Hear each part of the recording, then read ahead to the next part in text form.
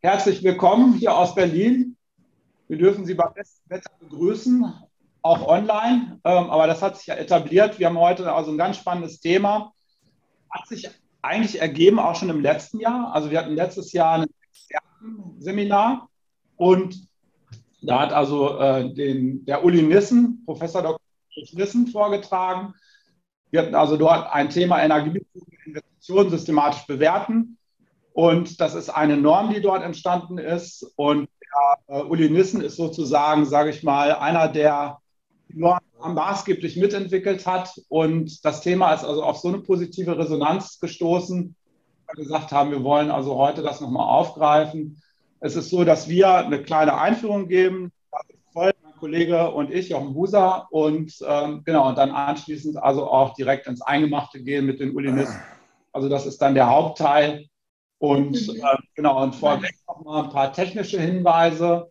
Äh, bitte aktivieren Sie Ihr Mikrofon nur bei Aufforderung. Also im Endeffekt deaktivieren Sie. Nutzen Sie also wirklich hier den Chat, um Ihre Fragen auch loszuwerden. Ähm, ja, also alles, was drückt, äh, wo Sie äh, Fragen haben, gerne also alles hier reinstellen. Wir haben jetzt heute eine relativ hohe Teilnehmerzahl und ähm, genau, versuchen natürlich alles möglichst abzuarbeiten. Mal gucken, ob uns das alles gelingt. Und ähm, im Nachhinein, also wenn Sie da noch weitere Fragen haben, da ist also auch hier, ähm, sag ich mal, die Lisa Zier steht dann auch noch zur Verfügung, die wird das dann entsprechend auch noch verteilen. Und wir können dann also im Nachhinein dann also auch noch weitere Fragen auch beantworten. Bitte vielleicht auch das, die Video, Funktion ausschalten, dass wir ein bisschen mehr Bandbreite Ja, haben. also wir gucken, wir testen mal aus, ob es funktioniert. Ähm, aber wir freuen uns natürlich auch, Sie zu sehen. Ähm, aber ich denke, wir haben hier relativ gute Bandbreite. Also Sie können sich auch durchaus mal blicken lassen. Und ähm, genau, und bitte wählen entsprechend also auch Ihren Namen aus, sodass wir sehen, was hier zu tun. Ähm, das kann man entsprechend auch nochmal ähm, äh, dort also eintippen und, ähm, und wenn Sie Sachen versenden wollen, äh, dann haben wir hier auch eine Möglichkeit, das praktisch ins Forum reinzustellen oder spezifisch auch nochmal ähm, an die Referenten oder ähm, ja, Personen, die Teilnehmer, Teilnehmerinnen, die hier im, äh, im äh, Seminar also auch mit teilnehmen. Genau, vor und Nachname hatte ich bereits gesagt. Äh, das Seminar wird auch aufgezeichnet. Äh, wir äh, stellen Ihnen natürlich also auch diese Aufzeichnung und auch die Vortragsunterlagen also auch zur Verfügung. Der Uli Nissen hat also auch schon mitgeteilt, dass es also auch so lesbar ist, verständlich, also aufgearbeitet worden ist, auch in seinen Folien, dass Sie also auch entsprechend da auch nochmal wie eine Art Leitfaden auch nochmal reingucken können und äh, so das auch nachvollziehen können, weil es ist doch sehr viel Stoff, den wir Ihnen jetzt also auch äh, in diesen zwei Stunden auch liefern wollen. Ja, wenn es technische äh, Probleme gibt, auch notfalls hier die 2.1-Durchwahl anrufen. Äh, da hilft also auch das Akademie-Team. Äh, bei uns äh, ist die Frau Eishold, die Nelly, also auch im Hintergrund, äh, die supportet hier also auch das Webinar. Und da kann man sich also auch hier jederzeit ähm, auch nochmal zu Wort melden. Ja, was wollen wir Ihnen heute entsprechend also nahebringen? Ähm, wir wollen also über die Schnittstellen zum Beihilfeverfahren sprechen. Ähm, wir wollen ähm, also auch kurz darauf eingehen, auf die, ähm, den Zusammenhang Prüfverfahren. Wir sehen also auch äh, diese ja, Berechnung ist also in den gesetzlichen Anforderungen auch zunehmend auch an, äh, ja, an Systeme insbesondere auch an Umweltmanagement und Energiemanagement. Und da geben wir also auch nochmal diese Schnittstelle. Da würden wir auch nochmal sagen, wie können, stellen wir uns das vor? Wie kann das also auch im Rahmen der Management-Zertifizierung dann also auch mit abgegolten werden? Und äh, wir werden natürlich also auch noch über weitere Neuerungen, Hilfstools auch noch kurz sprechen, äh, bevor wir dann also auch zu dem Hauptpart kommen, äh, zu dem ähm, äh, Professor Dr. Ulrich Nissen, äh, man kann sagen, einer der Väter der, der Norm, der Valerie, äh, bei uns also auch tätig im Rahmen äh, der Akademie, also gibt hier also auch Kurse auch schon zu der, zu der Norm. Und äh, da geht es also wirklich ins Eingemachte, also um die Anwendung der Norm. Ja, dann würde ich auch direkt das Wort an den lieben Kollegen, den David Koll, geben und der leitet jetzt erstmal ein. Ja, genau. Nur noch mal in die Runde von meiner Person aus. Ja, die Schnittmenge, weshalb ich hier mit sitze, ist, ja, im Wesentlichen, betrachte ich ja hauptsächlich Treibhausgasbilanzierung, also europäischer Emissionshandel und Freiwilligenbereich. Äh, aber wir sehen dort vor allem die Verbindung zum Brennstoffemissionshandelsgesetz mit dieser Verankerung des Gegenleistungsprinzips, das sich in verschiedenen Gesetzgebungsverfahren und strukturellen Verordnungen halt wiederfindet. Um Ihnen mal hier so ein kurzes Beispiel zu geben, welche Verbindung wir eigentlich zu diesem Gegenleistungsprinzip haben. Äh, wir sehen, dass wir vor allem jetzt mittlerweile mit der Kreditvergabe und der EU-Taxonomie ein wesentliches Instrument der EU-Kommission geschaffen, äh, geschaffen wurde, halt um Investitionen zu steuern, bewertbar zu machen. Und wir glauben, dass da perspektivisch dann auch gewisse Gegenleistungsprinzipien dann halt greifbar werden. Ein wichtiger Aspekt zur Gegenleistung ist natürlich die Entlastungsansprüche zur Ausgleichsregelung. Wir werden gleich sehen, an welchen Stellen dann eigentlich diese Gegenleistung gefordert wird.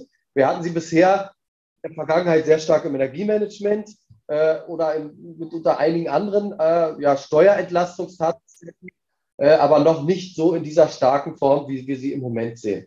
Äh, mitunter sehen wir auch sehr stark, sehr viele Förderprogramme, die mittlerweile aufgebaut werden, äh, die sehr stark in diese Richtung gehen, Transformation, Reduktion der Emissionen, der Energien. Äh, und dazu ist natürlich dann eine, eine Bewertung von Maßnahmen maßgebend. Ja, Anforderungen natürlich auch sehr stark aus dem Osterpaket, mit dem man jetzt eine ganz andere Geschwindigkeit auf den Ausbau der Erneuerbaren und damit halt verbunden auch vielen anderen Systemen umsetzen möchte, wo wir halt sehen, dass ganz stark äh, Begrenzung der Energieumlage, zum Beispiel für intensiven Unternehmen, wo wir halt eine, ja, eine Erweiterung der besonderen Ausgleichsregelung haben, wo halt ein Energiemanagement oder ein EMAS gefordert wird und dieser Nachweis der Gegenleistung, was etwas Neues ist, was wir bisher eher über diese Sektorziele und so weiter verankert haben. Aber da kommt, sage ich mal, ein ganz anderer Druck auf die Unternehmen zu, äh, den wir jetzt auch nochmal gemeinsam beleuchten müssen. Das Gleiche ist darunter auch äh, mit der besonderen Ausgleichsregelung, die wir früher sehr, sehr stark über die EEG-Lage, also die EEG-Verteilung der Kosten hatten, die also bald wegfällt. Das Musterpaket ist da dann halt eine Regelung mit Paragraph 30 äh, und den folgenden halt vorgesehen im Gesetze Umlage, äh, Energieumlagegesetz. Äh, und das ist oder durchs Parlament dann im Parlamentarischen Ausschuss auch schon durch. Wo kommen die Anforderungen her? Als Kernverordnung, so kann man sich das eigentlich sehr gut merken, haben wir Paragraph 10 bis Paragraph 12 in der Carbon Leakage Verordnung, also der BECV. Die BECV wurde eigentlich geschaffen fürs, fürs Brennstoffemissionshandelsgesetz, was ja im Prinzip für alle in Verkehr gebrachten fossilen Brennstoffe gilt, Klammer auf, außer die, die im Emissionshandel schon berichtet wurden, wo man gewisse Sektoren, die einer Verlagerung der Emissionen ja, außerhalb des Brennstoffemissionshandelssystems, das heißt hier in dem Fall außerhalb Deutschlands, vermeiden wollte, äh, hat man gewisse Privilegien, Beihilfeverfahren etabliert, die aber auch mit Gegenleistungen in Verbindung stehen. Das heißt, wenn ich einzelne Sektoren habe, die besonders CO2-intensiv sind, hat der Gesetzgeber sich gedacht, okay, bevor dieses Unternehmen ins Ausland abwandert, äh, weil einfach die CO2-Kosten so hoch sind hier in Deutschland, äh, möchte ich dort ein Beihilfeverfahren etablieren, aber das gibt es nicht umsonst. Dazu sind gewisse Gegenleistungen dann halt auch zu erbringen. Äh, das kennen wir aus anderen Systemen, wie, wie gesagt, in der Vergangenheit auch, auch, auch schon an vielen Systemen. Äh, rechts sehen Sie mal so ein bisschen grafisch dargestellt, wo dann dieses besondere Beihilfeverfahren eigentlich gilt. Man hat halt weiterhin diese Grenze des Energieverbrauchs, also über 10 GWH oder unter 10 GWH. Hier auch dieser Paradigmenwechsel, dass man nicht diese Trennung nach KMU und nicht KMU hat, sondern man geht ganz klar auf den Energieverbrauch, auch gemittelt über die letzten drei Jahre, um, um ein bisschen, sage ich mal, die Schwingung äh, so ein bisschen aufzufangen. Und je nachdem, wie der, der Energieverbrauch ist, ist man dann halt entweder verpflichtet zu einem zertifizierten Energiemanagement, eigentlich nichts Neues dort, oder einem zertifizierten EMA-System oder alternativ für die kleineren Unternehmen dann halt Stufe 3, 50.000. Oder was ganz spannend ist, die Mitgliedschaft in einem Klimaschutz- oder Energieeffizienzinitiative, was auch der Hintergrund ist, weshalb sich alle Energieinitiativen jetzt mittlerweile umbenennen zu Klimaschutz- und Energieinitiativen, einfach um nochmal so ein bisschen Fokus klarer zu definieren, dass es halt nicht nur um Energie, sondern halt auch um CO2 und Klimamaßnahmen geht. Spannend ist eigentlich dann der Aspekt, der da drunter kommt, dass gesagt wird, es reicht nicht nur ein Energie, äh, Managementsystem, wie wir es in den letzten Jahren gesehen haben. Klar, es hieß dann immer, ein Reduktionsfaden muss nachgewiesen und Verbesserung, aber es war nicht so streng und es war an vielen Stellen nicht so direkt greifbar. Weshalb der Gesetzgeber hier jetzt sagt, man will klare Vorgaben haben, sozusagen, dass 50 Prozent dieser, dieser Beihilfeverfahren dann in Investitionen zur Energieeffizienz eingesetzt werden müssen und dann ab 25 sogar 80 Prozent in Energieeffizienz. Also ganz klare Vorgabe, dass sozusagen dieses, diese Ersparnisse des Beihilfeverfahrens dann reinvestiert werden müssen, halt in gewisse Aspekte. Sie merken schon, wenn man sagt, hier mehr eine Reinvestition in Energieeffizienz, dass natürlich sofort die Frage kommt, was heißt Energieeffizienz, welche Maßnahmen, welche Investitionen, wie bewerte ich überhaupt sinnvolle Maßnahmen? Muss ich jetzt anfangen, wenn ich alles schon gemacht habe, sinnlose Maßnahmen an, an einigen Stellen umzusetzen, nur weil es diese Verpflichtung dort gibt? Und das sehen wir hier nochmal ganz schön. Wird halt gesagt, und da haben wir unsere Schnittstelle dann auch zur DIN 17463, unser Valerie, dass gesagt wird, jedes Unternehmen ist sozusagen dann verpflichtet im Rahmen auch, auch des Energie- oder EMAS oder halt auch alternativ über diesen anderen Pfad der, der Initiativen oder der 50.005 äh, die Maßnahmen aufzulisten und dann halt auch einheitlich und strukturiert zu bewerten. Und das heißt, eine strukturierte Bewertung ist dann halt bezüglich der positiven Kapitalwertermittlung nach der Wandelring-Norm durchzuführen. Darunter sehen Sie dann nochmal 2023 bis 2025, äh, dass halt auch konkrete Vorgaben definiert sind, zum Beispiel 60 Prozent der vorgesehenen Nutzungsdauer bei maximal neun Jahren. Äh, das wird Ihnen wahrscheinlich jetzt noch nicht sagen. Ich hoffe, ab 12 Uhr, spätestens wenn Herr Nissen dann mit seinem Vortrag durch ist, dass wir alle ein klares Verständnis darüber haben, was heißt Nutzungsdauer, wie ist das zu bewerten und was heißen diese 60 Prozent dann. Äh, der Gesetzgeber hat hier aber noch eine kurze Lücke mit aufgenommen, indem er sagt, oder Erleichterung, dass bereits bei eingeführten Energiemanagementsystemen vor dem 28.07. Äh, dann halt auch die Amortisationszeit als, sage ich mal, unser bisheriger Bewertungsmaßstab äh, auch, auch genutzt werden kann, wenn dieser unterhalb der Nutzungsdauer liegt. Und dann äh, vielleicht noch einen kurzen Moment, Jochen, die, die Folie von davor. Äh, wir sehen, interessant ist, dass dann, äh, sage ich mal, als Alternative unten auch gesagt wird, man kann halt neben dieser Kapitalbewertung zur Energieeffizienz dann auch Investitionen vornehmen äh, zu Maßnahmen zur Dekarbonisierung im Produktionsprozess, sage ich mal, als zweite Schiene. Dort ist dann aber die Vorgabe mit verankert, äh, dass man dann eine gewisse Effizienz auch schon in den äh, Prozessen haben muss, halt, die an den Produktbenchmark-Werten vergleicht, sehr stark aus dem Emissionshandel kommt, äh, wo sozusagen Benchmarks für 10 Prozent der besten Anlagen europaweit definiert wurden. Und man muss sich dann schon in sehr effizienten Prozessen bewegen, um dann äh, dort halt die Investitionen vornehmen zu können. So mal gehen wir mit, dass gefordert wird, dass Investitionen zu tätigen sind, dass Maßnahmen einheitlich und zu bewerten sind. Genau. Ja, und dann halt natürlich auch diese Nachweisverpflichtung, die wir in Paragraph 12 BCV haben, äh, dass man dann halt den nachdenken muss über dieses Energiemanagementsystem oder EMAS. Da gibt es dann so ein paar Regelungen, dass die Einführung bis zum Zeitpunkt oder schon ein bestehendes System, da will ich gar nicht so im Detail drauf eingehen, weil das, weil das relativ zeitaufwendig ist. Äh, ansonsten diese Mitgliedschaft halt als auch Nachweis und für die Klimaschutzmaßnahmen dann halt auch, wie wir es bisher eigentlich aus dem Energiemanagement oder EMAS kennen, eine Liste der einzelnen Maßnahmen mit dann halt dieser neuen Bewertung, Kapitalbewertung nach der Valerie. Ganz spannend ist natürlich die Frage, die ich auch immer wieder höre im Rahmen der Audits, die, die wir machen, dass viele Unternehmen halt sagen, na, man hat ja schon sehr, sehr viel gemacht über die letzten zehn Jahre, man sieht eigentlich keine Potenziale. Das hat der Gesetzgeber so auch erkannt. Man muss dann dazu aber auch äh, einen klaren Nachweis erbringen. Und das heißt, alle möglichen alternativen Maßnahmen, die es noch geben würde, zumindest nach Kapitalwert zu bewerten und darzulegen, dass die halt überhalb dieser Grenze sind, damit nicht umzusetzen. Genau. Hier sehen wir nochmal, wie im Prinzip alles zusammenzuführen ist, was so ein bisschen der Einstieg äh, vor, meines Vortrags war. Wir sehen, im Kern steht eigentlich die BECV als Verordnung, die zum einen halt links für die Strompreiskompensation wirkt. Das heißt, die Unternehmen, die im Emissionshandel sind und hohe, äh, äh, sag ich mal, Energieverbräuche haben, die können dort ein Beihilfeverfahren über diese äh, SPK-Förderrichtlinie äh, beantragen, äh, wo wir dann halt die Anforderungen haben aus Paragraph 10 äh, BCV mit dem Energiemanagementsystem und so weiter.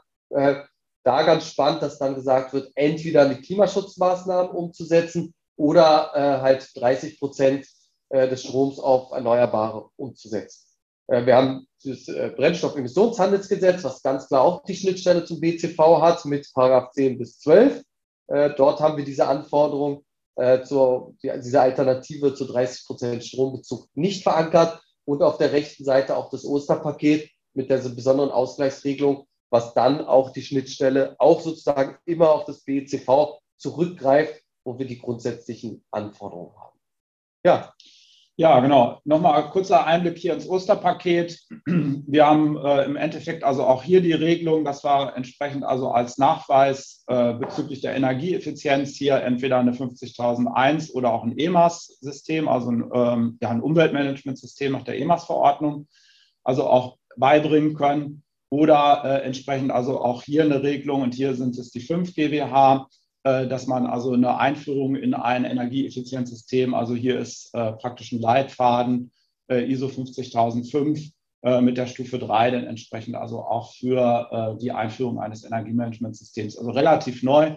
Parallel läuft gerade auch ein Vortrag dazu auf den Berliner Energietagen.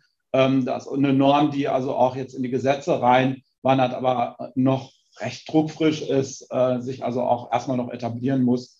Ähm, und also auch keine äh, Zertifizierung, die verlangt.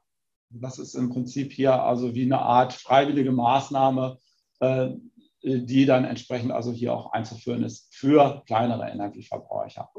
Genau, und ähm, wir haben im Osterpaket dann also auch wirklich, äh, das ist also auch nochmal geändert worden, das war also wirklich in den ersten Entwürfen stand das also nicht so ähm, äh, dezidiert drin, dass also hier eine Eigenerklärung auch ähm, mit beigefügt werden muss. Und äh, da geht man also auch, sage ich mal, über einen Energiebericht, ne, äh, den, der äh, hier verlangt wird. Und dieser Energiebericht kann man eigentlich mehr oder minder sagen, koppelt sich an das Review an, also an die Managementbewertung. Also das im Grunde genommen äh, im Rahmen der Managementbewertung, da fließen ja alle Aktionspläne, alle Maßnahmen fließen dort rein, müssen also ja auch durch die, die Leitung, also die Entscheidungsebene entsprechend also auch freigegeben werden.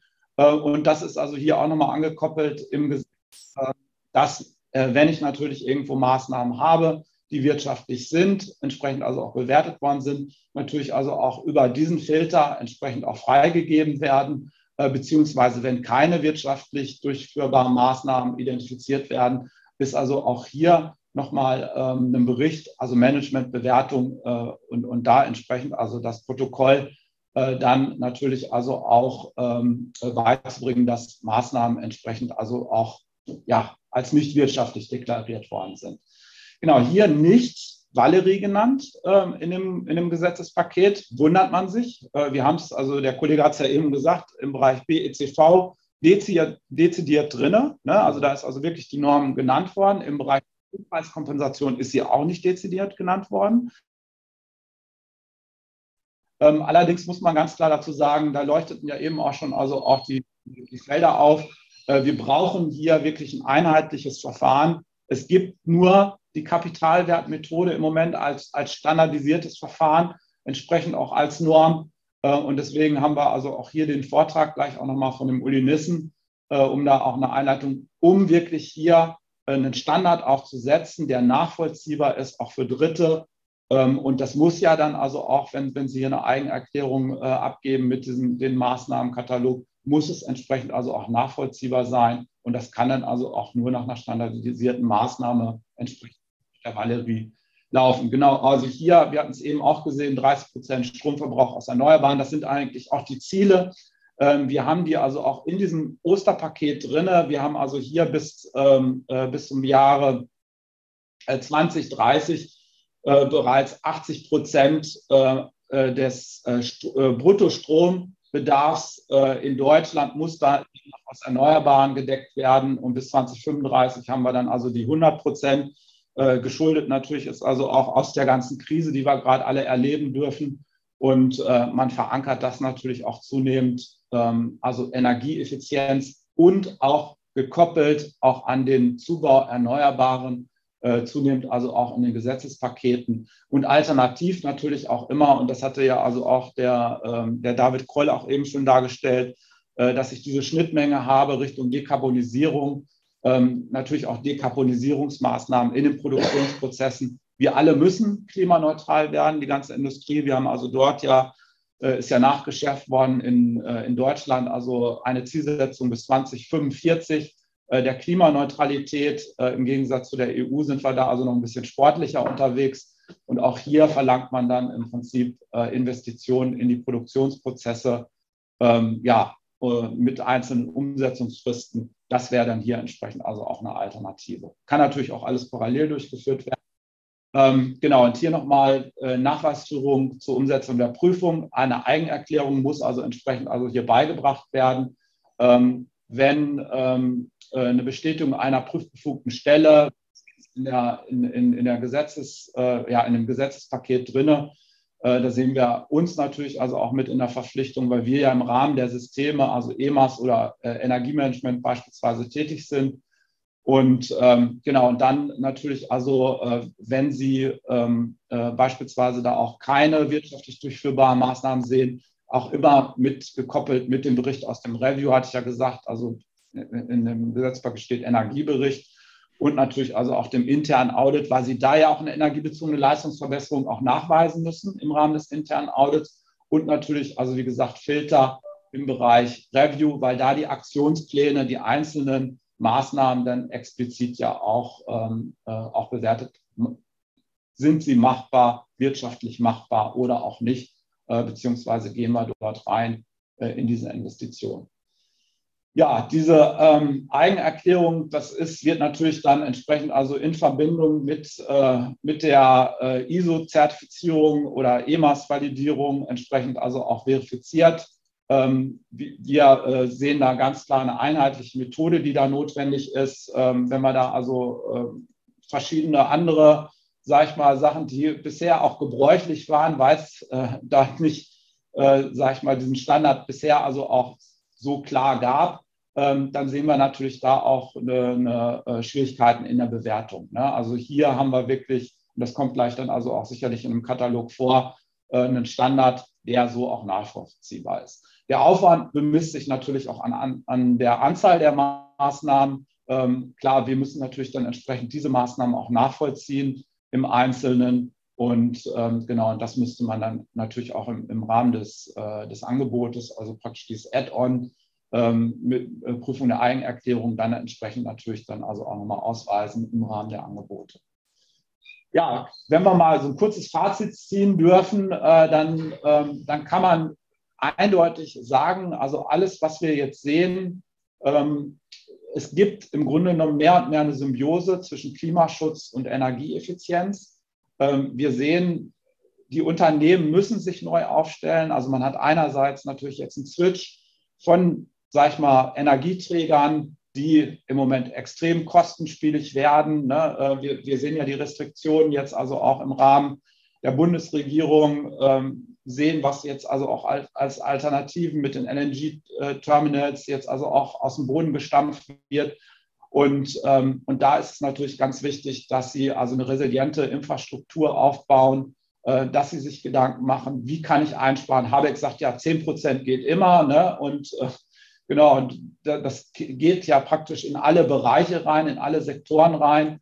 Ähm, und die Industrie hat ja da also auch schon viel Vorleistung gebracht, aber es ist also auch immer noch möglich, da noch energieeffizienter zu werden. Und Klimamanagement, also CO2-Einsparung verschmilzt zunehmend, also auch mit, mit dem Energiemanagement. Wir haben also auch da ja einen Leitfaden auch zu veröffentlicht. Und äh, so sollte das natürlich dann also auch ähm, eingeführt werden. Wir erleben es also auch in, in Norm, jetzt auch in der 50006, dass sie natürlich auch immer mehr Richtung CO2-Performance also auch gucken, also nicht nur Energieeffizienz über die, die ENPIs, also über die Energiekennzahlen, ähm, die, die klassischen, sondern also auch immer über eine CO2-Performance. Und ähm, genau, und Energieeinsparung zum ersten Mal ist also auch hier der Be Begriff Friedensenergie ähm, geflossen, also ähm, äh, im Rahmen jetzt auch der Debatten. Äh, man sieht also, wir müssen das Tempo beschleunigen. Das, was Habeck jetzt hier vorgelegt hat, ist das Osterpaket. Es gibt noch ein Sommerpaket, was uns alle dann im Sommer dann ja erwartet. Und ähm, genau, der beschleunigte Ausbau der erneuerbaren Energie, ähm, ja, äh, wenn es dann für uns machbar ist, wir, wir, äh, wir haben die nötigen Ressourcen, äh, Handwerker, äh, und, und Materialien, dann denke ich mal, ist es also auch, äh, auch machbar. Und wir sehen ja, dass erste Sachen da also auch auf den Weg gebracht worden sind. Und ja, sind alle gespannt, ob diese Ziele, die in dem Osterpaket dann drin sind, auch erreicht werden. Wir selbst tragen natürlich zunehmend eine Verantwortung, ne? Äh, also alle Akteure, weil diese Maßnahmen müssen jetzt also auch transparenter, äh, nachvollziehbar entsprechend also auch ausgewiesen werden. Also wir haben wirklich hier jetzt ähm, ja, Gegenleistungen, die, ähm, die, die, entsprechend also äh, mit einer Wirtschaftlichkeitsbewertung dann äh, versehen werden müssen. Das war so in der Norm, also im Bereich EMAS oder auch der 50.001 bisher noch nicht so stark rausgestellt und ist jetzt aber im Rahmen der Gesetzespakete, Richtlinien dann eigentlich deutlich rausgestellt worden. Ja, wir freuen uns gleich auf den, den Uli Nissen, aber äh, wir haben also auch schon mit ihm, sag ich mal, einige Webinare auch schon durchgeführt. Hier sieht man mal die aktuellen Termine, also auch hier im Juni und ähm, werden ähm, da noch weiter richtig mal ins Eingemachte zu gehen, also auch mal Beispiele auch zu rechnen. Äh, der kann sich hier gerne anmelden. Unten ist also auch nochmal der Link zu dem, äh, zu dem Seminar. Und äh, ich wollte hier also nicht versuchen, also nochmal einen kurzen Leitfaden, den haben wir jetzt gerade veröffentlicht, ähm, äh, darzustellen für Transformationskonzepte. Wer diese Förderung in Anspruch nehmen möchte, äh, David hatte das ja eben also auch schon genannt, ähm, der kann hier nochmal reingucken, wie sollte so ein Transformationskonzept aufgestellt werden. Ähm, das ist ja wie so eine kleine Studie, die dort erstellt wird und mit dem Ziel natürlich der Klimaneutralität. Und ähm, ja, das Ganze wird entsprechend gefördert über Scope 1, Scope 2 und man kann das also sich auch zertifizieren lassen. Und, äh, und hier ist nochmal so das Nötigste, äh, sag ich mal, die Quintessenz haben wir da also in diesem Leitfaden auch zusammengefasst. Ja, es gibt auch einen, äh, neben den Energieeffizienznetzwerken gibt es also auch zunehmend Klima, ähm, ja, Klimamanagement oder Klimaeffizienznetzwerke. Und ähm, ein Netzwerk hat also auch unser Kooperationspartner, die DENEF. Ähm, das ist also ein, äh, ja, ein Verband, der hier in Berlin äh, tätig ist. Ähm, der hat äh, hier also auch ein Netzwerk eröffnet und genau, das ist eine begrenzte Teilnehmerzahl. Ich weiß nicht, ob man sich noch anmelden kann, aber ansonsten sind hier noch die äh, Kontaktdaten. Es hat also auch hier im April schon einen kleinen Kickoff gegeben. Wir begleiten das also auch fachlich von unserer Seite und wenn man da Fragen zu hat, äh, dann kann man hier auch nochmal den Kollegen, den Florian Himmelstein, äh, anfunken beziehungsweise ihm eine E-Mail äh, schreiben. Der kann da also auch nochmal weiterhelfen. Ja, weitere aktuelle Leitfäden ähm, finden Sie ähm, auch auf unserer Internetseite ganz neu. Wir haben also auch einen jetzt zum Umweltmanagement, Einstieg in ein Umweltmanagementsystem herausgegeben.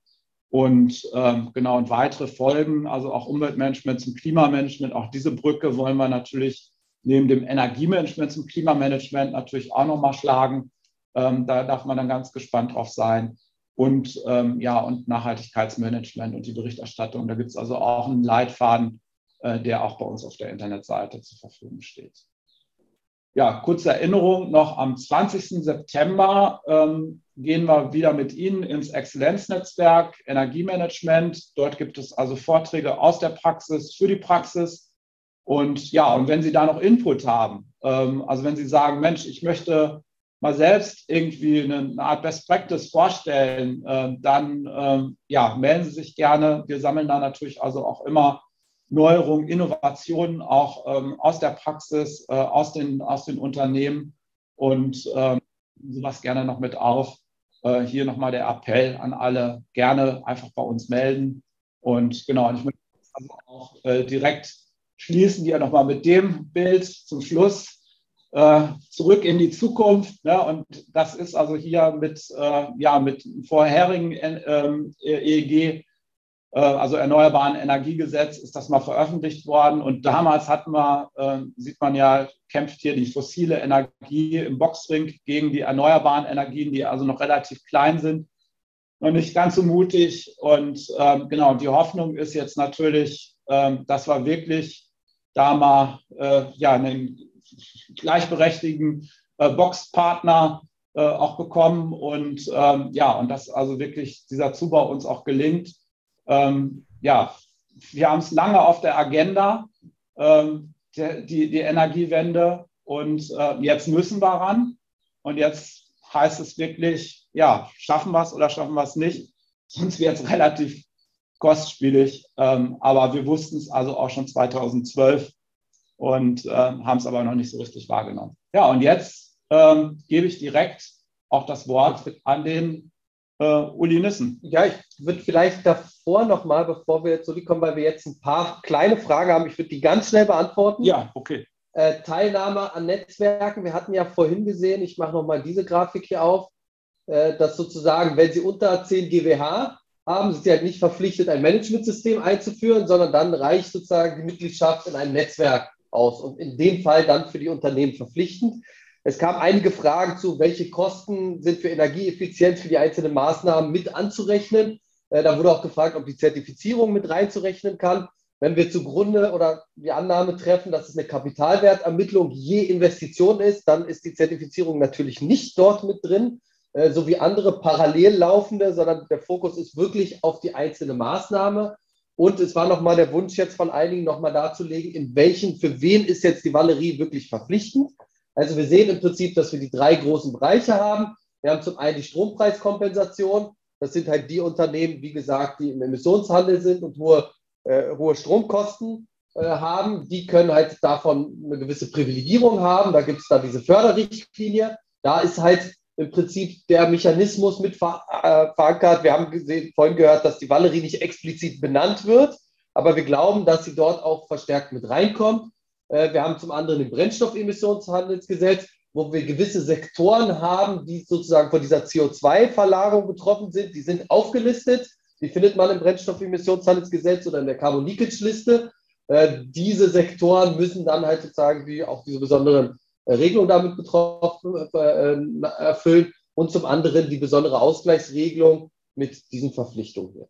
Ja, aber man muss ganz klar sagen, äh, wir haben es ja überall nicht äh, äh, gleichmäßig, also äh, benannt, ne, Valerie, äh, in den Gesetzen, aber wirklich ähm, nachvollziehbar und nach einer einheitlichen Methode verlangt, also wirklich hier eigentlich Valerie, ja. so kann man das sagen, aber ich denke, das wird der Uli Nissen gleich auch nochmal rausstellen, äh, in seinem Vortrag. Ja, und dann äh, freuen wir uns auf den, den Uli Nissen und, und auf seine, ja, jetzt geht es ins Eingemachte sozusagen, Uli. Super, vielen Dank, äh, Jochen David. Äh, vielen Dank für die Einladung. Könnt ihr meine Folien sehen? Ja, die kommen mal. Also für, bevor ich loslege, ganz kurz Good News. Das Osterpaket enthält Valerie, allerdings in einer sehr versteckten Stelle. Auf die werde ich nachher auch noch zu sprechen kommen. Äh, dann fangen wir mal an. Äh, vielen Dank für die Einladung. Freue mich sehr, äh, äh über Valerie referieren zu dürfen. Ähm, äh, und äh, lege auch gleich mal los. was habe ich geplant? Was möchte ich Ihnen vermitteln? Wir fangen an mit ganz kurz mit den Hintergründen der Valerie-Norm. Wie ist das ganze Projekt überhaupt entstanden? Wie ist die Norm entstanden? Dann machen wir einen kurzen Rundumschlag der Bewertungsverfahren, um Valerie verstehen zu können und anwenden zu können, äh, muss man sich ein Stück weit mit äh, verschiedenen Bewertungsverfahren äh, auskennen oder zumindest äh, eine, eine, gewisse Vorstellung haben, wie sie funktionieren.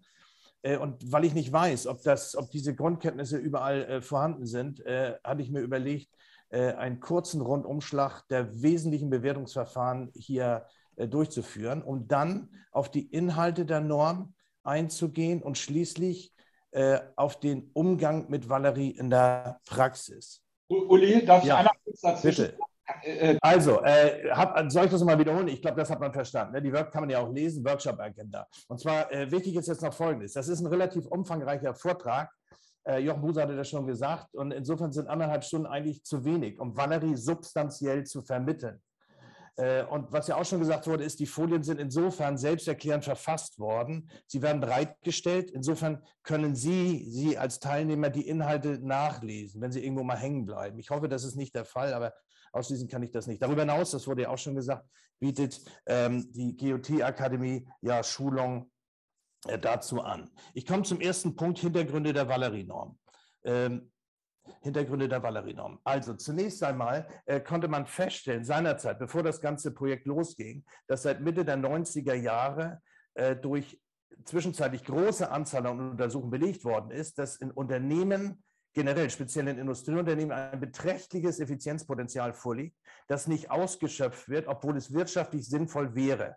damit beschäftigen sich eine ganze Reihe von Forschern äh, und die dann auch immer wieder sagen, äh, wieso passiert das nicht? Also wirtschaftlich handelnde Unternehmen müssen doch diese Effizienzpotenziale, die positive Kapitalwerte erzeugen, ausschöpfen und versuchen, äh, Gründe dafür herzuleiten, warum das denn so ist. Das Ganze läuft unter dem Stichwort die Energy Efficiency Gap spielt eine Rolle bei der, auch der Entwicklung von Valerie. Darauf komme ich gleich noch zurück. Darüber hinaus haben wir seinerzeit äh, 2013, 2014, also an meinem Lehrstuhl hier in, in ähm, äh, Mönchengladbach äh, eine umfassende Untersuchung mal durchgeführt. Wir haben also äh, Wirtschaftlichkeitsanalysen von verschiedenen Unternehmen gesammelt, die hat, wurden uns vorgelegt, wir hatten welche im Internet gefunden, in Broschüren, überall, also relativ viele und die wurden dann ausgewertet. Ich habe das in meinem Buch damals 2014 ein Stück weit veröffentlicht, was da rausgekommen ist. Und diese Untersuchungen machten deutlich, dass ein großer Handlungsbedarf besteht. Wieso? Die Auswertung zeigten, dass die große Mehrheit der ausgewerteten Wirtschaftlichkeitsanalysen massive Schwächen auswies, etwa Ergebnisse nicht korrekt, Verwendung ungeeigneter Bewertungsmethoden, das war sehr häufig der Fall, Berechnungsmodell intransparent, daher schwierig zu verstehen äh, und äh, nicht nachvollziehbar, äh, Zeitwert des Geldes, Zinsen also nicht berücksichtigt, speziell bei statischen Berechnungsmethoden, oder wenn der Zeitwert berücksichtigt wurde, dann regelmäßig Zinssatz unreflektiert. Und mit dem Zinssatz können Sie sehr stark das Ergebnis einstellen. Und wenn der nicht reflektiert wird, wenn er nicht transparent gemacht wird, auf welche Weise der Zinssatz eingestellt ist, dann kann man äh, sehr stark äh, Ergebnisse dahin zaubern, die man von vornherein eigentlich auch haben wollte. Dann andere Dinge wie Risiko und so weiter und so fort sind häufig nicht berücksichtigt worden. Äh, das war das Ergebnis der Studie. Im Kern allerdings stellten wir fest, dass eine Hauptbarriere äh, besteht und die bestand darin, dass in vielen Fällen ganz offensichtlich ein Kommunikationsproblem zwischen jenen, die eine Effizienzidee entwickeln und solchen, die die Investitionsentscheidung darüber fällen oder zu fällen haben. Ich habe hier mal eine typische Situation dargestellt. Sie sehen hier links Produktionsingenieur zusammen mit dem Facility Manager überlegen sich eine Wärmerückgewinnungsanlage, weil irgendwelche technischen Prozesse, Produktionsprozesse vorliegen, äh, die eine sehr hohe Wärmeabgabe nach sich ziehen, die sonst irgendwie aufwendig äh, beseitigt werden müsste. So, die beiden kommen auf die Idee, eine Wärmerückgewinnungsanlage ähm, zu installieren und entwickeln einen Vorschlag, holen sich Kostenvoranschläge ein und so weiter, stellen fest, die Investition käme auf etwa 160.000 Euro und man würde eine Reduzierung des Energieverbrauchs von 30 Prozent erzeugen. Äh, so, dies wird jetzt, weil Sie das selbst nicht entscheiden dürfen, dem Chefcontroller vorgelegt. Und was passiert an der Stelle? Äh, häufig Ablehnung, weil entweder Vorschlag unvollständig, was wir häufig gesehen haben, und oder nicht verständlich. Und das ist ein gravierendes Problem gewesen, so dass am Ende der Vorschlag, der vielleicht wirklich auch ökonomisch sinnvoll wäre, einfach abgelehnt wird, weil hier ein Kommunikationsproblem vorliegt. Äh, und da wir das sehr, sehr häufig feststellten, kam der Gedanke auf, dass wir brauchen, dass wir etwas brauchen. Wir brauchen eine Lösung. Woran könnte die bestehen? Und wir waren damals der Meinung, die könnte darin bestehen, dass es ein korrektes, leicht verständliches, anwenderfreundliches, transparentes, nachvollziehbares, eindeutiges und vor allen Dingen einheitliches Bewertungsverfahren geben sollte, um nämlich die technischen Ideen in die Sprache der Entscheidungsträger zu übersetzen. Und wenn wir so etwas hätten, dann würde diese Ablehnung verschwinden und so eine positiv bewertbare Wärmerückgewinnungsanlage würde äh, möglicherweise dann viel mehr Chancen haben, auch umgesetzt zu werden, womit letzten Endes Energie und damit auch CO2-Emissionen eingespart werden. So, das war die Lage damals äh, 2013, 14, 15. Und da war es mehr oder weniger Zufall, dass äh, im Jahr 2016 die EU-Generaldirektion äh, Energie zusammen mit der EU-Kommission einen Bedarf an einer Normierung von Wirtschaftlichkeitsberechnung in Bezug auf Energiemaßnahmen gegenüber SFEM signalisiert. Und SFEM steht für Sektorforum Energiemanagement der CEN. CEN ist ja die Europäische Normungsorganisation in Brüssel. Und äh, innerhalb der ZEN gibt es verschiedene Sektorforen, die den Link herstellen zwischen der EU-Behörde, also zwischen EU, Kommission und Generaldirektion und äh, der ZEN. Und so gibt es zum Beispiel auch ein Sektorforum Energiemanagement, also das ist sozusagen äh, der, der, die, die politische Brücke äh, zu ZEN. Äh, und dort wurde die, entsprechende, dieser entsprechende Bedarf signalisiert. Wo kam der her? Impulsgeber waren unter anderem Finanzinstitute äh, und deren Verbände, die Sicherheit und Transparenz bei der Beurteilung von Krediten für Energieeffizienzmaßnahmen benötigt. So, und aus diesem Grund, weil dieses, dieser Wunsch geäußert wurde, gab es eine Anfrage von CEM, von SFEM, sorry, vom Sektorforum über den relevanten CEN-Normungsausschuss äh, dann an die entsprechenden nationalen Normungsinstitutionen. Da wurde gefragt, Mensch, hätte jemand Interesse, so ein Projekt zu initiieren, nämlich eine Normierung von Wirtschaftlichkeitsberechnungsmethoden äh, oder ein, von einem Verfahren zur wirtschaftlichen äh, Bewertung von Energieeffizienz und sonstigen Maßnahmen. So, und das schlug dann auch unter anderem bei unseren deutschen DIN Nagus A9 ein. Jochen Buser ist Mitglied, ich bin auch Mitglied dabei.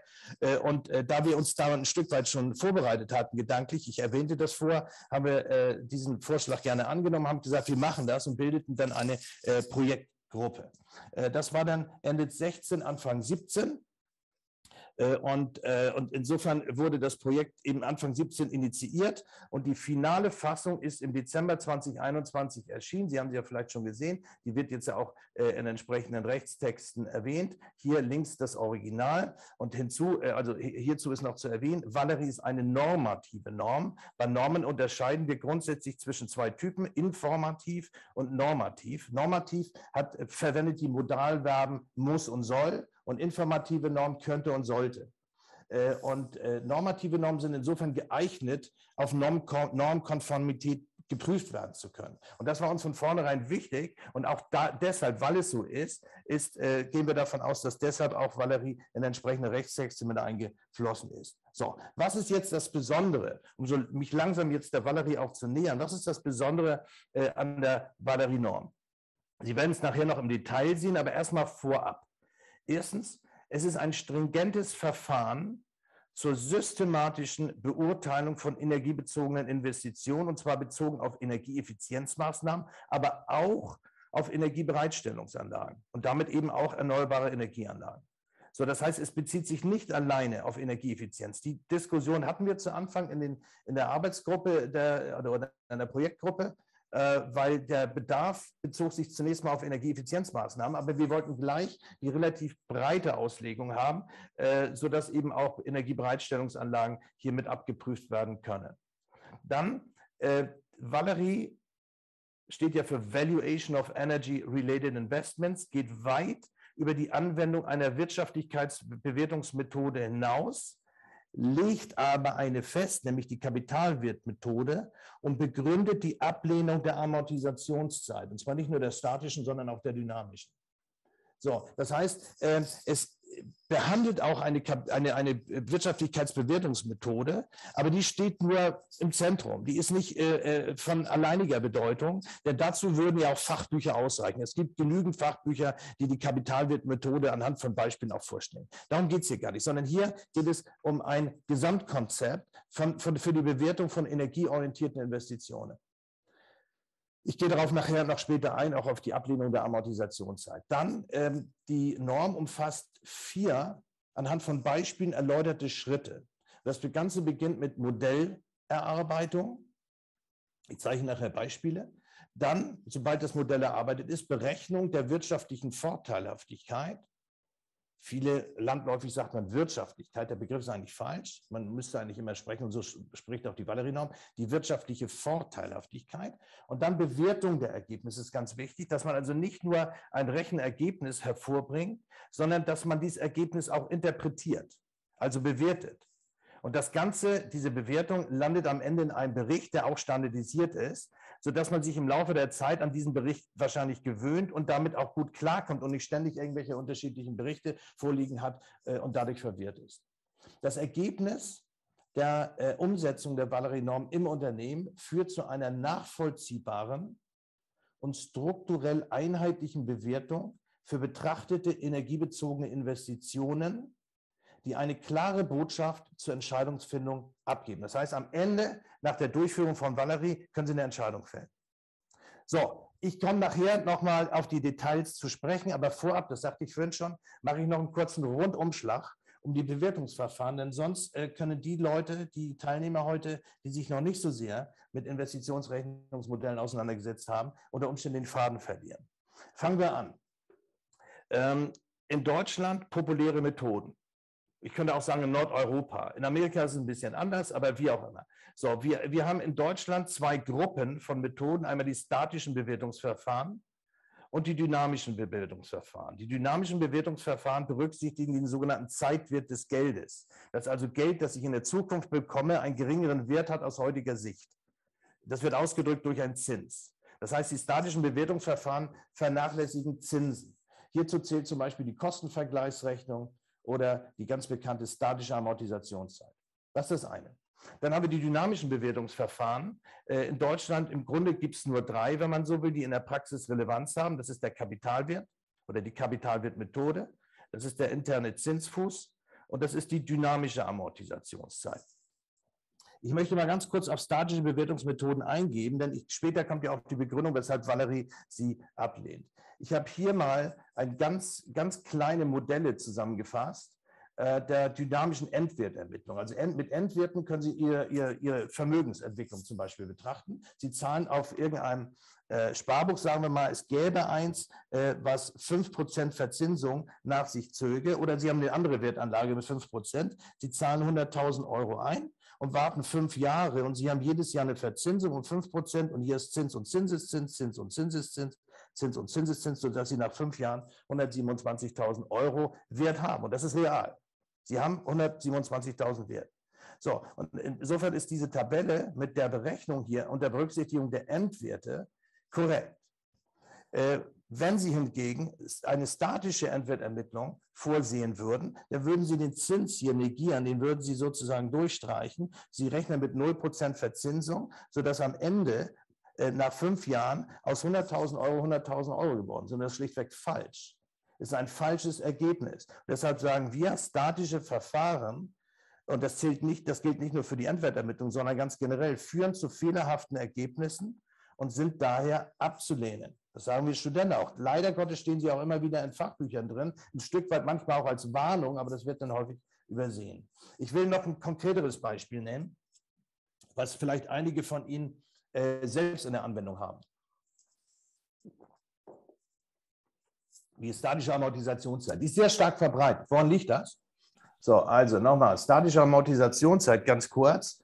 Äh, ich habe hier mal ein Mini-Beispiel. Investitionsauszahlung, Sie zahlen 80.000 Euro aus und Sie haben eine Energiekosteneinsparung von jährlich 27.000 Euro. Und meinetwegen auch noch Wartungs- und Reparaturkosten, die werden geschätzt, alle fünf Jahre 8.000 Euro. Sie sehen hier durch die Vorzeichen, das eine ist eine Auszahlung, das andere sind Rückzahlungen, Returns. So, hier ist jetzt, es gibt verschiedene Formeln, das ist die glaube ich, gebräuchlichste Formel der statischen Amortisationszeit. Man rechnet die Investitionsauszahlung geteilt durch den durchschnittlichen Return. So, das machen wir einfach mal. Äh, durchschnittlicher Return wäre hier ja 27.000 Euro äh, Einsparung, also 80.000 durch 27. Die Wartungskosten können wir hier in der ersten Tabelle nicht berücksichtigen, weil, äh, weil ich die ja, also da, da, steht alle fünf Jahre, ich lasse sie mal weg. Oder ich käme auf die Idee, diese 8000 durch fünf zu teilen, dann hätte ich so eine Art Jahreswartungsreparaturkosten. Die müsste ich dann natürlich von der Energiekosteneinsparung abziehen und käme so auf einen durchschnittlichen Return, der etwas niedriger ist. Auf diese Weise kann ich jetzt ganz leicht auf dem Bierdeckel, wenn Sie so wollen, die statische Amortisationszeit ausrechnen, einmal 3,0 und einmal 3,1 Jahre. Da ist doch eigentlich nicht so viel dran auszusetzen. Ich sage doch. Und zwar aus folgendem Grund. Nur unberücksichtigt bleibt und damit problematisch ist, dass die Wirkungsdauer hier gar, nicht berücksichtigt worden ist. Wenn die Energiekosteneinsparung nur ein Jahr andauert oder fünf Jahre oder zehn Jahre, das Ergebnis ist immer gleich. Das ist immer gleich. Sondern der Zeitwert des Geldes, also die, die, äh, die, der Zinssatz, ist hier komplett vernachlässigt. Äh, der spielt eine Rolle, auch in Zeiten niedriger, ich sag mal, Bankzinsen. Das spielt über, die Bankzinsen sind irrelevant für die Bemessung des Zinssatzes im Rahmen der Kapitalwertberechnung. Ich gehe darauf später noch ein. Äh, der Zeitwert des Geldes spielt eine Rolle und der wird hier überhaupt gar nicht berücksichtigt. Preissteigerungsraten, und die sind ja gerade bei Energie nicht nur jetzt, sondern auch in der Vergangenheit, äh, haben die eine Riesenrolle gespielt, äh, werden hier nicht berücksichtigt. Wir gehen mit konstanten Energiepreissteigerungen von 27.000 Euro hier aus. Das ist schlichtweg falsch. Die steigen natürlich an, äh, wenn bei konstanten Kilowattstundeneinsparungen, die werden ja immer teurer. Dann nicht jährliche Kosten, ich sagte es gerade hier, sind entweder gar nicht oder schwierig zu berücksichtigen, in der Regel unvollständige Datenerfassung und die Aussagekraft des Ergebnisses ist mehr als problematisch. Deshalb sagen wir, weg damit. Ja, und das war schwierig auch in den, in den Normusausschuss. Sie müssen sich vorstellen, es sind ja viele Vertreter unterschiedlicher europäischer Länder dabei, die teilweise selbst statische Amortisationszeit im Einsatz hatten. Es dauerte lange, die Kollegen zu überzeugen. Wie dem auch sei, trotzdem, obwohl die Fachleute einer Meinung sind und die, vor allen Dingen die statische Amortisationszeit ablehnen, wurden sie in der Vergangenheit dennoch häufig äh, in auch relevanten Broschüren oder sogar Rechtstexten äh, mit äh, integriert. Ich habe hier mal eine ehemalige, das ist nicht das aktuelle, der aktuelle Stand, es gibt einen neueren Stand, wo die statische Amortisationszeit nicht mehr vorkommt, aber in der Urausgabe dieses Leitfadens, den sicherlich viele von Ihnen kennen, vom äh, Umwelt- und äh, Ministerium und Umweltbundesamt, äh, da wird hier die statische Amortisationszeit erwähnt. Es geht sogar weiter. Selbst in der äh, Spar-EV, äh, die alte, die wird ja gerade novelliert, wenn wahrscheinlich kommt sie gar nicht mehr. Äh, da ist ja auch die statische Amortisationszeit sogar ausdrücklich erwähnt. Ja, also das ist, äh, das ist sehr problematisch. Insofern sagen wir, statische kümmern wir uns nicht drum. Ich mache selbst, ich habe nachher eine Vorlesung in Investitionsrechnung und den Studenten bringe ich statische Amortisationszeit oder überhaupt statische Bewertungsverfahren überhaupt nicht mehr bei. Warum soll ich denen was beibringen, was falsch ist? So, wir kommen zum nächsten, dynamische Bewertungsmethoden. Äh, ich gehe kurz auf die Inhalte ein. Die dynamischen Bewertungsmethoden, speziell zu, zu Anfang jetzt mal Kapitalwert und die anderen auch, leiten sich eigentlich aus dem Endwert ab. Und der Endwert ist ja der Wert nach einer bestimmten, der, der, der, der nominelle Wert nach einer bestimmten Laufzeit. Ich habe hier mal ein Beispiel aufgeführt. Äh, Sie betrachten äh, drei Jahre. T0 ist immer heute, das nach einem Jahr, nach zwei Jahren, nach drei Jahren. Sie haben einen Zinssatz von 10 Prozent mal, um es besonders einfach zu machen. Wie hoch ist der Wert oder wie entwickelt sich der Wert Ihrer Einlage von 100.000 Euro in drei Jahren? Das kann jeder für, von Ihnen sicherlich alleine rechnen. Dazu brauche ich Ihnen das eigentlich nicht aufzuzeigen. Ich mache es aber trotzdem, um die mathematische Formel abzuleiten. So, der Endwert nach einem Jahr EW1 ist 100.000 Euro mal 1 in Klammern 1 plus 10 Prozent. Das ist 110.000. So, EW2 hier die 121.000, da ist ja Zinseszins auch dabei. Dann nimmt man den Vorjahreswert, die 110.000, also man nimmt diesen Wert, den EW1 eigentlich, mal 1 plus 10 Prozent. Und bei T3 macht man genau das Gleiche. Das heißt, was hat man gemacht bei EW3? Man hat EW3 genommen, 100 mal 1 plus 10 Prozent, das sind die hier, mal 1 plus 10 Prozent mal 1 plus 10 Prozent. Und so kommen wir auf die 133. Das heißt, die Klammerausdrücke können wir zusammenfassen und schon steht da als allgemeingültige Formel EW zu einem Zeitpunkt t ist Z0 Zahlung zum Zeitpunkt 0 mal 1 plus i hoch t. Das alles. So, das ist der Endwert, aus dem sich alle anderen Berechnungsverfahren ableiten. So, jetzt gehen wir einen Schritt weiter. Was für die Unternehmen viel interessanter ist, ist der Barwert und schließlich der Kapitalwert. Was ist jetzt der Barwert? Der Barwert ist die Umdrehung des Endwertes. Das möchte ich Ihnen zeigen. Beim Endwert betrachten wir eine Zahlung heute und wollen wissen, welchen Wert hat sie in drei Jahren. Beim Barwert, und das ist viel interessanter, speziell auch für Energieinvestitionen, da betrachten wir künftige Zahlungen und wollen wissen, welchen Wert sie heute haben. Ja, das heißt, diese 133.000 Euro können ja eine Energieeinsparung sein oder ein Ertrag einer Solaranlage. So, welchen Wert haben die 133.000 Euro heute, wenn wir einen Zins von 10 Prozent meinetwegen zugrunde legen? Ich sage jetzt schon die Antwort, die sich, ergibt sich hier aus der Endwertbetrachtung, natürlich 100.000 Euro. Dann hätte ich die 100.000 Euro und könnte sie zu 10 Prozent anlegen, hätte ich nach drei Jahren 133. Das ist das Spiel. So, nur wie kriegen wir das? Und das ist der Barwert. So, wie kriegen wir das jetzt mathematisch erfasst? Ganz einfach, indem ich zunächst mal, ups, sorry, ähm, so, indem ich erstmal die Endwertformel hier rüber kopiere. Also Endwert zum Zeitpunkt t ist z0 mal 1 plus i hoch t. Und jetzt sage ich einfach mal, als ich die, den Endwert suchte, suchte ich den Endwert und z0 war bekannt. Und jetzt ist z0 gesucht und der Endwert ist sozusagen bekannt. Das heißt, die Zahlung in der Zukunft, was ja ein Endwert sein könnte, ist bekannt und ich suche nach z0. So, das heißt, ich muss diese Gleiche nur nach z0 auflösen. Mache ich mal. Das heißt, ich nehme jetzt Z0 auf die linke Seite und schreibe EW auf die rechte Seite, beziehungsweise ich hole den Klammerausdruck hier nach links und drehe das Ganze um. Dann steht da Z0 gleich EWT geteilt durch 1 plus I hoch T. So, und jetzt mache ich einen Name Change, nennen wir das. Das heißt, Z0, äh, das ist ja Zahlung, das ist ja Geldwert zum Zeitpunkt 0, Present Value heute, das nennen wir Barwert. Und dieses EWT, der, der Betrag, den wir kennen, den nennen wir ZT. Und damit haben wir automatisch die Barwertformel erarbeitet. Das ist also die Umkehrung der Endwertformel. Ganz einfach. Ich habe das jetzt nochmal äh, durch, äh, eine, eine, durch ko komplette Wörter hier nochmal ausgedrückt. Also Barwert gemessen in Euro ist Zahlung zum Zeitpunkt T geteilt durch 1 plus Zinssatz hoch Zeitpunkt T. So, das ist der Barwert. Allerdings eine Einmalzahlung. Dies ist der Barwert eine Einmalzahlung, 133.000 Euro. Wenn wir Energieinvestitionen betrachten, haben wir nicht nur eine Einmalzahlung, sondern wir haben eine kontinuierliche Zahlung, die auch schwankt in der Zukunft. So, das heißt, äh, das müssen wir uns jetzt auch angucken. Mit anderen Worten kommen jetzt Mehrfachzahlungen ins Spiel. Und jetzt bin ich beim Kapitalwert. Äh, das will ich Ihnen aufzeigen. Kapitalwertermittlung ist eigentlich nichts anderes als eine Barwertermittlung über mehrere Perioden. Äh, hier habe ich ein typisches Kapitalwerttableau, so wie Sie das in der Valerie-Norm finden. Äh, in der ersten, in der ersten Spalte stehen Begriffe. Und ab der zweiten Spalte beginnen Sie mit den Perioden. Periode 0 ist immer heute. Periode 1 ist logischerweise, also 1 steht für Ende der Periode 1 und so weiter und so fort. Dieses Tableau hat offenbar zehn Perioden. Hier geht man davon aus, dass der, die Projektlaufzeit äh, zehn Jahre beträgt. Meistens sind die Perioden Jahre.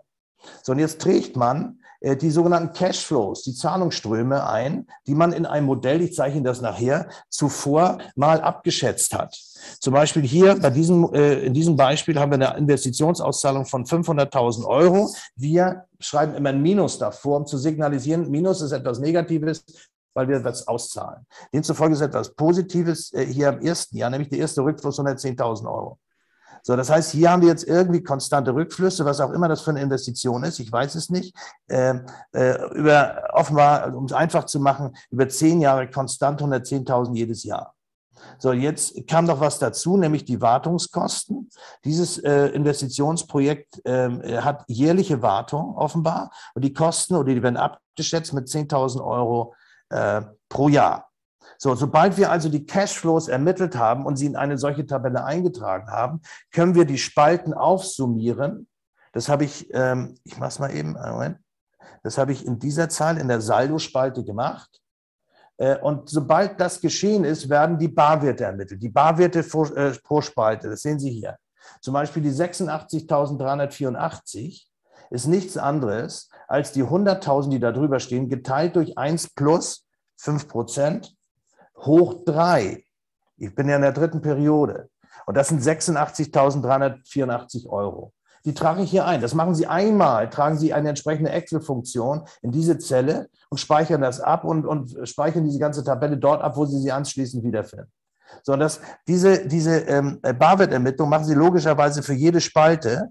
Das machen Sie, wie gesagt, einmal manuell und dann haben Sie das mit Funktion von Excel hier eingetragen und dann wird es ab sofort automatisch erstellt. Und sobald Sie die ganzen Barwerte äh, haben, werden die äh, zusammengezählt und das Ergebnis ist der Kapitalwert. Das ist der Kapitalwert. Der Kapitalwert ist also die Summe der einzelnen Barwerte. Okay? So, weiter geht's. Also Summe, da habe ich hier nochmal dargestellt. Genau. So, weiter geht's. Und jetzt kommt ein ganz entscheidender Punkt. Äh, was bedeuten jetzt die 272.000 als Ergebnis? Die 272.000 Euro sind immer im Kontext oder in Beziehung zu dem Zinssatz zu verstehen. Der Zinssatz hat einen maßgeblichen Einfluss auf das Ergebnis. Je höher der Zinssatz ist, desto kleiner der Kapitalwert. So, wie legt man jetzt diesen Zinssatz fest? Das müssen wir zuerst klären, um anschließend zu verstehen, was der Kapitalwert überhaupt ist. Und dazu habe ich diese Zahlen hier mal dazu geschrieben. Und die möchte ich mal eben vorlesen. Äh, in, in, aller Kürze, da könnte man natürlich einzelne äh, Lehrveranstaltungen dazu noch machen. Der Kalkulationszins I, der hier oben im Moment auf 5% festgelegt wird, hat einen wesentlichen Einfluss auf das Berechnungsergebnis. Kurz gesagt, richtet sich seine Festlegung bei Eigenkapitalfinanzierung, also wenn Sie das Geld haben, wenn Sie die Liquidität besitzen, nach der besten risikogleichen Alternativanlagemöglichkeit. Also wenn Sie, Sie würden ja irgendwas mit dem Geld machen. Sie haben äh, hier 500.000 Euro Liquidität. Und irgendwas geschieht ja damit. Im Zweifel geschieht gar nichts, dann setzen Sie den Zinssatz zu null. Aber in einem Unternehmen macht man das nicht, sondern man steckt das in die Produktion oder man hat irgendwelche anderen andere Anlagenmöglichkeiten. So, und da müsste man natürlich noch so einen Risikoausgleich schaffen. Das können wir hier nicht machen, das dauert zu lange. Jetzt gehe ich mal davon aus, es gibt eine risikogleiche Alternativanlagemöglichkeit und die würde fünf Prozent äh, zustande bringen. Insofern setze ich den Zinssatz zu fünf. Wenn hingegen äh, Sie das Geld nicht haben, sondern Sie brauchen Kredit und dieses Projekt, was Sie im, äh, im Auge haben, ist ganz äh, interessant, auch für die Bank, äh, dann, ähm, äh, dann äh, würde man den Kreditzins als Zinssatz nehmen. Und sollte es eine Mischfinanzierung sein, und das ist ja fast der Normalfall in der betrieblichen Praxis, dann machen Sie eine gewichtete Mischung aus beiden. So, weshalb sage ich das? Das sage ich aus folgendem Grund. Das lese ich hier erstmal vor. Dies bedeutet nämlich, dass wenn eine Investition, ob energieorientiert oder für einen gänzlich anderen Zweck, einen positiven Kapitalwert aufweist, wie hier, dann ist deren Umsetzung für ein betreffendes Unternehmen wirtschaftlich vorteilhaft, sofern der Kalkulationszins den allgemeinen Regeln der Kapitalwertberechnung entsprechend festgelegt ist. Wie ich es gerade sagte, beste Alternativanlagemöglichkeit. So, was bedeutet das jetzt? Also wir haben diese Anlage, die Sie, die Sie vor sich haben, erzeugt zunächst einmal fünf Prozent. Das ist genauso wie Ihre Alternative. Und darüber hinaus, über die Lebenszeit von zehn Jahren, nochmal 272 Euro. Ein Kollege von mir, äh, auch Controlling-Prof, nennt das Übergewinn, um den Begriff Gewinn nicht zu verwenden, weil der ja rechtlich definiert ist.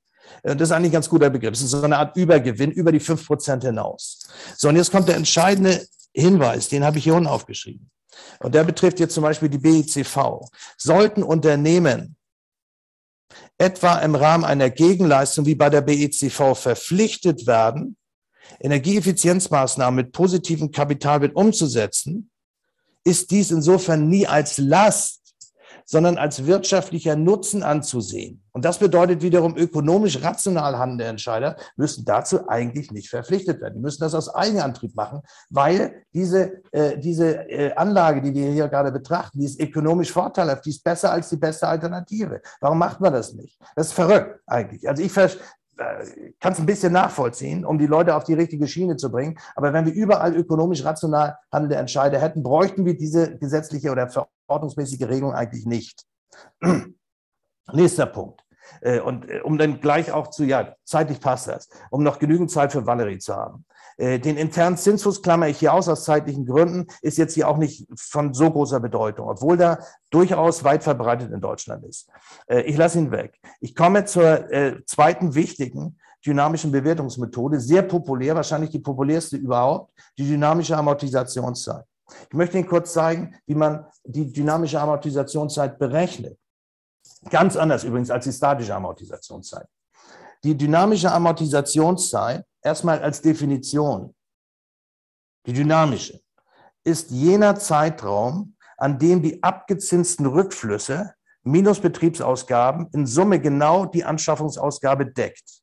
Sie ist damit der Zeitpunkt, an dem der Kapitalwert null wird. Das heißt, bei einer Investition, ob energieorientiert oder nicht, völlig egal, da gebe ich erstmal Geld von mir, liquide Mittel von mir. Also Cashflows fließen raus. So, und das mache ich in der Hoffnung, dass es einen Return on Investment gibt. Und der Return sind die Rückflüsse. Das heißt Energiekosteneinsparung, Stromerträge von der Photovoltaikanlage oder was auch immer.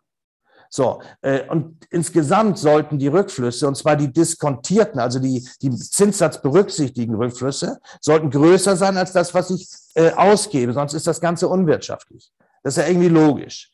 So, und die Amortisationszeit äh, sagt nun Folgendes. Man geht davon aus, dass Sie zu Anfang Geld auszahlen und nach einer kurzen Zeit haben sie zwar schon Return, aber der reicht nicht aus, um die Anschaffungsausgabe zu decken, sondern da muss ein bisschen Zeit ins Land verstreichen, bis irgendwo ein Zeitpunkt gekommen ist, an dem die Rückflüsse, und zwar die diskontierten, genau diesen Anfangsauszahlungsbetrag entsprechen. Und das ist die Amortisationszeit. So, das heißt, die Amortisationszeit ist damit der Zeitpunkt, an dem der Kapitalwert von Minus geradezu Null geworden ist und ab jetzt wird er positiv. So, wie ermitteln wir das? Äh, wir ermitteln das, indem wir zunächst mal eine Kapitalwerttabelle aufbauen, wie wir es gerade eben gemacht haben. Hier habe ich sie. 100.000 äh, Anschaffungsauszahlung und dann jedes Jahr meinetwegen 21.000 mit Preissteigerung, dann eben 22.000, 23.000 und so weiter und so fort. Ich ermittle die Periodenseiten wie gerade eben. Ne, also die, die Spalten werden auch summiert. Äh, dann werde ich, dann rechne ich die, äh, die Spalten äh, um. Das heißt, ich ermittle Barwerte. Ich rechne beispielsweise 23.153 geteilt durch, Klammer auf, 1 plus 4 Prozent hoch 3. Äh, und das ergibt diese 20.582. So, also alles wie bisher Kapitalwertmethode. Da anschließend summiere ich die Barwerte auf, komme auf den Kapitalwert. Okay? So, jetzt haben wir noch nichts Neues. Jetzt kommt es mit Amortisationszeit. Jetzt sagt die Amortisationszeit ja, ist der Punkt, an dem der Kapitalwert positiv wird. Das heißt, man geht davon aus, man könnte unterschiedliche Kapitalwerte haben, indem man die Periodenzahl T variiert. Man sagt also, äh, wir können uns ja vorstellen, dass diese äh, Kapitalanlage, diese Energieeffizienzmaßnahme nicht notwendigerweise zehn Perioden hat, sondern vielleicht nur neun oder vielleicht nur acht oder vielleicht nur sieben. Das heißt, wenn sie sieben hätte, dann könnte ich dies Jahr durchstreichen. So, und könnte einen neuen Kapitalwert ausrechnen, indem ich für die Periode sieben sämtliche Barwerte aufsummiere bis zur Periode sieben und dann aufhöre. So, das heißt, äh, wenn ich so denke, dass ich also äh, hier verschiedene äh, Spalten und damit Perioden wegschneide, kann ich Kapitalwerte in Abhängigkeit von der Zeit ermitteln. Und genau das findet statt. Das heißt, ich habe es hier, glaube ich, nochmal, äh, kommt das jetzt? Genau, jetzt kommt es deutlicher. Ich nehme als Beispiel diesen Kapitalwert äh, bei drei Perioden also minus 38.839, ergibt sich aus, die Summe der Bar, aus der Summe der Barwerte von minus 100.000 plus 20.192 plus 20.386 plus 20.582. Ergebnis ist minus 38.839. Und siehe da, noch negativ. Das heißt, hier haben wir offenbar die Amortisationszeit noch nicht erreicht. So, ja. Ähm, seinerzeit, als ich in die Wohnung eingezogen bin, wurde da. Ich kann leider nichts verstehen. Das ist sehr durcheinander. Hallo? Hallo? War da eine Frage? Also ich glaube, jemand hat aus Versehen sein Mikro ja, an. Hallo, Frau Schroth. Äh, Ralf Reise hat sein Mikro an. Oh, das sollte ausschalten. Ah, so. Okay, dann mache ich weiter. ja, das passiert immer wieder. So, also soweit klar. Ne? Also das heißt, wir haben hier jetzt verschiedene Kapitalwerte in Abhängigkeit von der Zeit. So, und damit ist, und wenn wir das so darstellen, wir machen das immer mit formatierter, mit, mit, äh, äh mit, mit, äh, relativ, mit, mit bedingter Formatierung. Und dann kann man, äh, und zwar immer dann, wenn sie, wenn die äh, Kapitalwerte negativ sind, wird es rot dargestellt, sonst grün. Und dann kann man hier sehr schnell sehen, äh, aha, äh, der, der, das Vorzeichen, der Vorzeichenwechsel findet zwischen vier, Periode 4 und 5 statt. Also irgendwo dazwischen, etwa nach viereinhalb Jahren, äh, bisschen mehr offenbar, äh, liegt die Amortisationszeit. Man kann das per Dreisatz dann auch noch genauer ermitteln und käme dann auf 4,86 Jahre. Okay? So, das ist äh, Amortisationszeit. Jetzt kommen wir zu den Schwächen der Methoden. Das ist jetzt für Valerie wichtig. Zunächst mal Kapitalwertmethode. Äh, sind wir der Auffassung, mal abgesehen davon, dass äh, man sich ein bisschen damit auseinandersetzen muss, insbesondere was die Interpretation der Ergebnisse angeht, weist sie eigentlich keine Schwächen auf. Hier ist so ein Grundmuster, äh, so eine Grundtabelle und wir gehen normalerweise so vor. Am Anfang machen Sie eine technische Potenzialanalyse. Sie haben irgendeine, meinetwegen einen Keramikbrennofen äh, und entwickeln technische Ideen und stellen fest, mit dieser Idee könnten wir äh, eine Gigawattstunde im Jahr sparen. Und dann tragen Sie die hier ein für die Perioden ab 1 bis 10 zum Beispiel. So, und sobald äh, die technische Analyse abgeschlossen ist, äh, holt man Angebote ein und stellt fest, äh, also diese Maßnahme würde 400.000 Euro kosten und zu welchem Rückfluss führen? Äh, äh, der Rückfluss wäre die 1000 Megawattstunden pro Jahr mal einem spezifischen Energiepreis von meinetwegen 100 Euro pro Megawattstunde, also 100.000 Euro im Jahr. So, und dann hat man im Grunde alles und man rechnet dann die Salden zusammen, ermittelt die Barwerte, summiert sie auf und am, Ergeb am Ende hat man das Ergebnis, nämlich den Kapitalwert. Das ist natürlich eine vereinfachte Darstellung. Also an der Kapitalwertberechnung wird eigentlich, eigentlich nie kritisiert, weil sie stringent ist, weil sie nachvollziehbar ist und weil man mit Hilfe von solchen Tabellen alles ganz gut nachvollziehen kann. So, wie sieht es mit der dynamischen äh, Amortisationszeit aus? Auf die dynamische bin ich, auf die statische bin ich ja schon eingegangen. Zunächst einmal Folgendes. Äh, die erste Schwäche, die ist vielleicht nicht ganz so gravierend, aber dennoch erwähnenswert ist folgendes. Die dynamische Amortisationszeit sagt nichts über den Umfang des, Effizienz- oder Einspareffektes aus. Ich habe hier mal so fünf Beispiele von Energieeffizienzmaßnahmen aufgeführt, rechts. Austausch von Leuchtmitteln, Bewegungsmelder, Toilette bis hin zur Einbindung eines Blockheizkraftwerkes. Äh, und auf der anderen Seite äh, habe ich dann die Amortisationszeit mal ermittelt und auch die Kapitalwerte. Und guckt man sich die Amortisationszeit an und hätte man nur sie als Entscheidungsparameter, dann würde man hier ganz klar äh, die Maßnahme Nummer eins und Nummer zwei an, den, an die erste Stelle setzen, nämlich Bewegungsmelder Toilette und Austausch von Leuchtmitteln. Ja, kann man machen, aber wirklich bedeutende Maßnahmen, wie etwa äh, die Einbindung eines Blockheizkraftwerkes mit einem wunderbaren Kapitalwert, würde da völlig äh, durch die Rosten fallen. Äh, und äh, also hier kann man eigentlich erkennen, dass die Amortisationszeit äh, zwar ein Indikator sein kann, aber es sagt nichts über den Umfang aus. Der Umfang wird wieder gespiegelt ein Stück weit durch den Kapitalwert, nicht nur, aber auch. So, der nächste Punkt, das ist eine ganz gravierende Schwachstelle, ist, dass die Unternehmen, die mit Amortisationszeiten, auch mit dynamischen arbeiten, die legen in der Regel Amortisationszeitrestriktionen fest. Ich arbeite seit vielen Jahren mit dem Thema oder an dem Thema äh, Investitionsrechnung und habe demzufolge mit vielen Unternehmensentscheidern ähm, äh, äh, schon entsprechende Diskussionen gehabt. Und immer wieder frage ich, sagen Sie, haben Sie jetzt, welche Berechnungsmethode wenden Sie an? Und viele eben dynamische oder statische Amortisationszeit. Und ich frage dann immer, wie, äh, nach welchen, wonach entscheiden Sie dann, wenn meinetwegen herauskommt, irgendeine äh, größere Geschichte hätte fünf Jahre, dann sagen die, ja, wir haben eine Restriktion. Ich sage, ja, wie lautet die denn? Und meistens ist sie, liegt sie bei drei. In den allermeisten Fällen. Übrigens nicht nur in Deutschland, sondern weltweit, offenbar. Ich habe das nie statistisch äh, erfasst, aber äh, die Gespräche, die vielen Gespräche, die stattgefunden haben, äh, deuten darauf hin. So, und, äh, und wenn ich dann frage, ja, wieso drei? Warum nicht vier oder zweieinhalb? Dann bekommen Sie irgendwelche merkwürdigen Antworten, die nie rational sind. Manchmal heißt es ja, der Vorgänger hätte das auch so festgelegt. Oder das hat man in der Uni gelernt oder irgendetwas.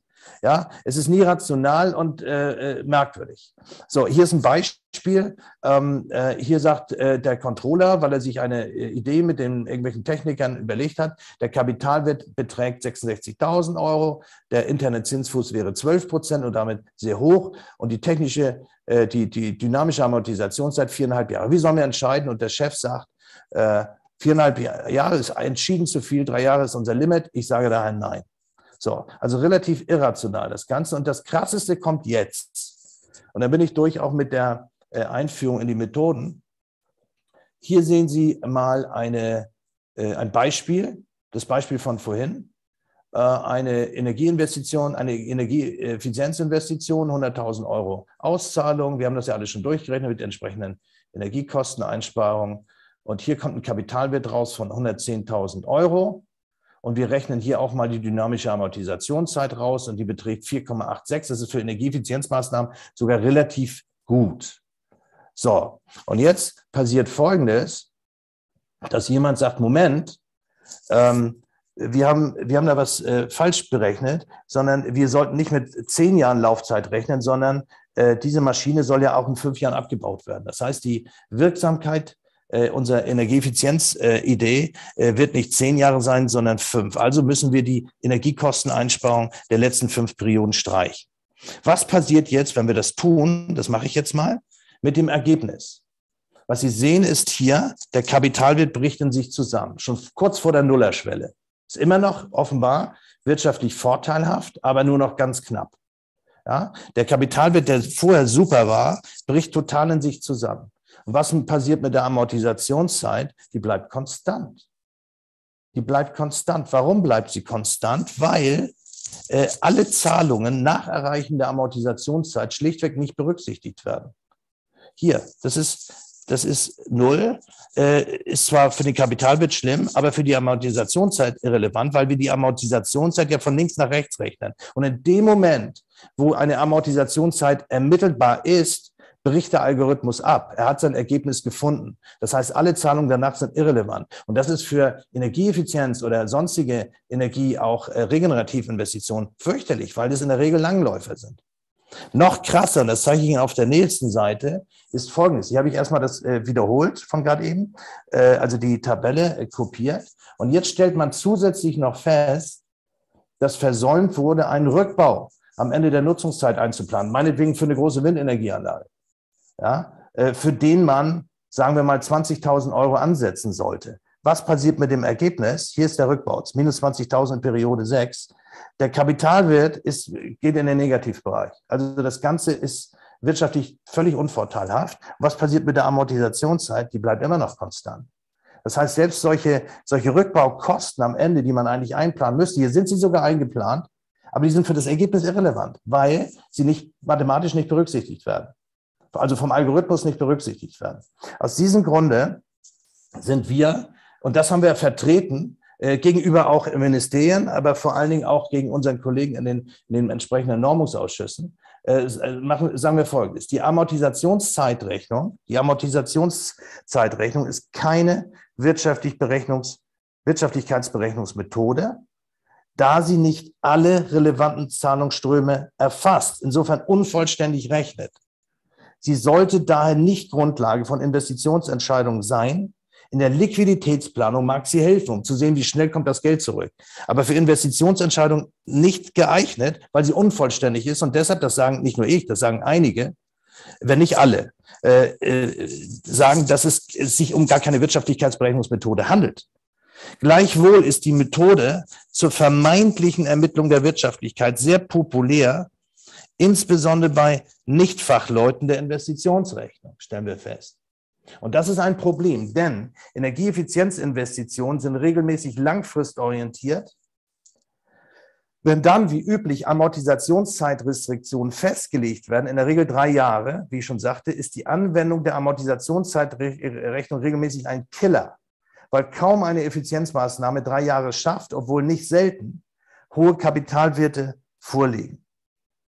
Äh, aus diesem Grunde ist zum Beispiel diese äh, Broschüre vom UBA äh, äh BMU äh, von seiner Zeit, die linke Seite hatte ich Ihnen vorhin gezeigt, auch komplett dahingehend überarbeitet worden, dass jetzt die Amortisationszeitrechnung, die ja hier noch aufgeführt war, worden war, die ist gestrichen und wir rechnen äh, nur noch mit der Kapitalwertmethode und genau das wird empfohlen in dem neuen Leitfaden, also in der zweiten äh, Auflage. Äh, da können Sie, das können Sie sogar hier von der Webseite des UBA herunterladen. Im Anhang dieser Broschüre ist hier sogar ein, eine, ein Spezialanhang mit dabei und der nennt sich Amortisationszeit als Bewertungsmaßnahmen für Energieeffizienzmaßnahmen sehr problematisch. Und da wird auf drei oder vier Seiten, glaube ich, äh, erklärt, äh, warum das so ist. Okay, äh, genau. Und entsprechende Hinweise im Übrigen äh, finden Sie, und jetzt komme ich zu Valerie, entsprechende Hinweise finden Sie in der Valerie-Norm in Anhang C wird genau beschrieben, äh, auf welcher Grundlage das, das eine Bewertungsverfahren, nämlich die Kapitalwertmethode, ausgewählt worden ist. Das steht im Anhang C genau drin, das kann man da nachlesen. So, wir kommen jetzt, wie gesagt, auf Valerie zu sprechen. Wir haben noch eine Dreiviertelstunde Zeit, das ist wunderbar.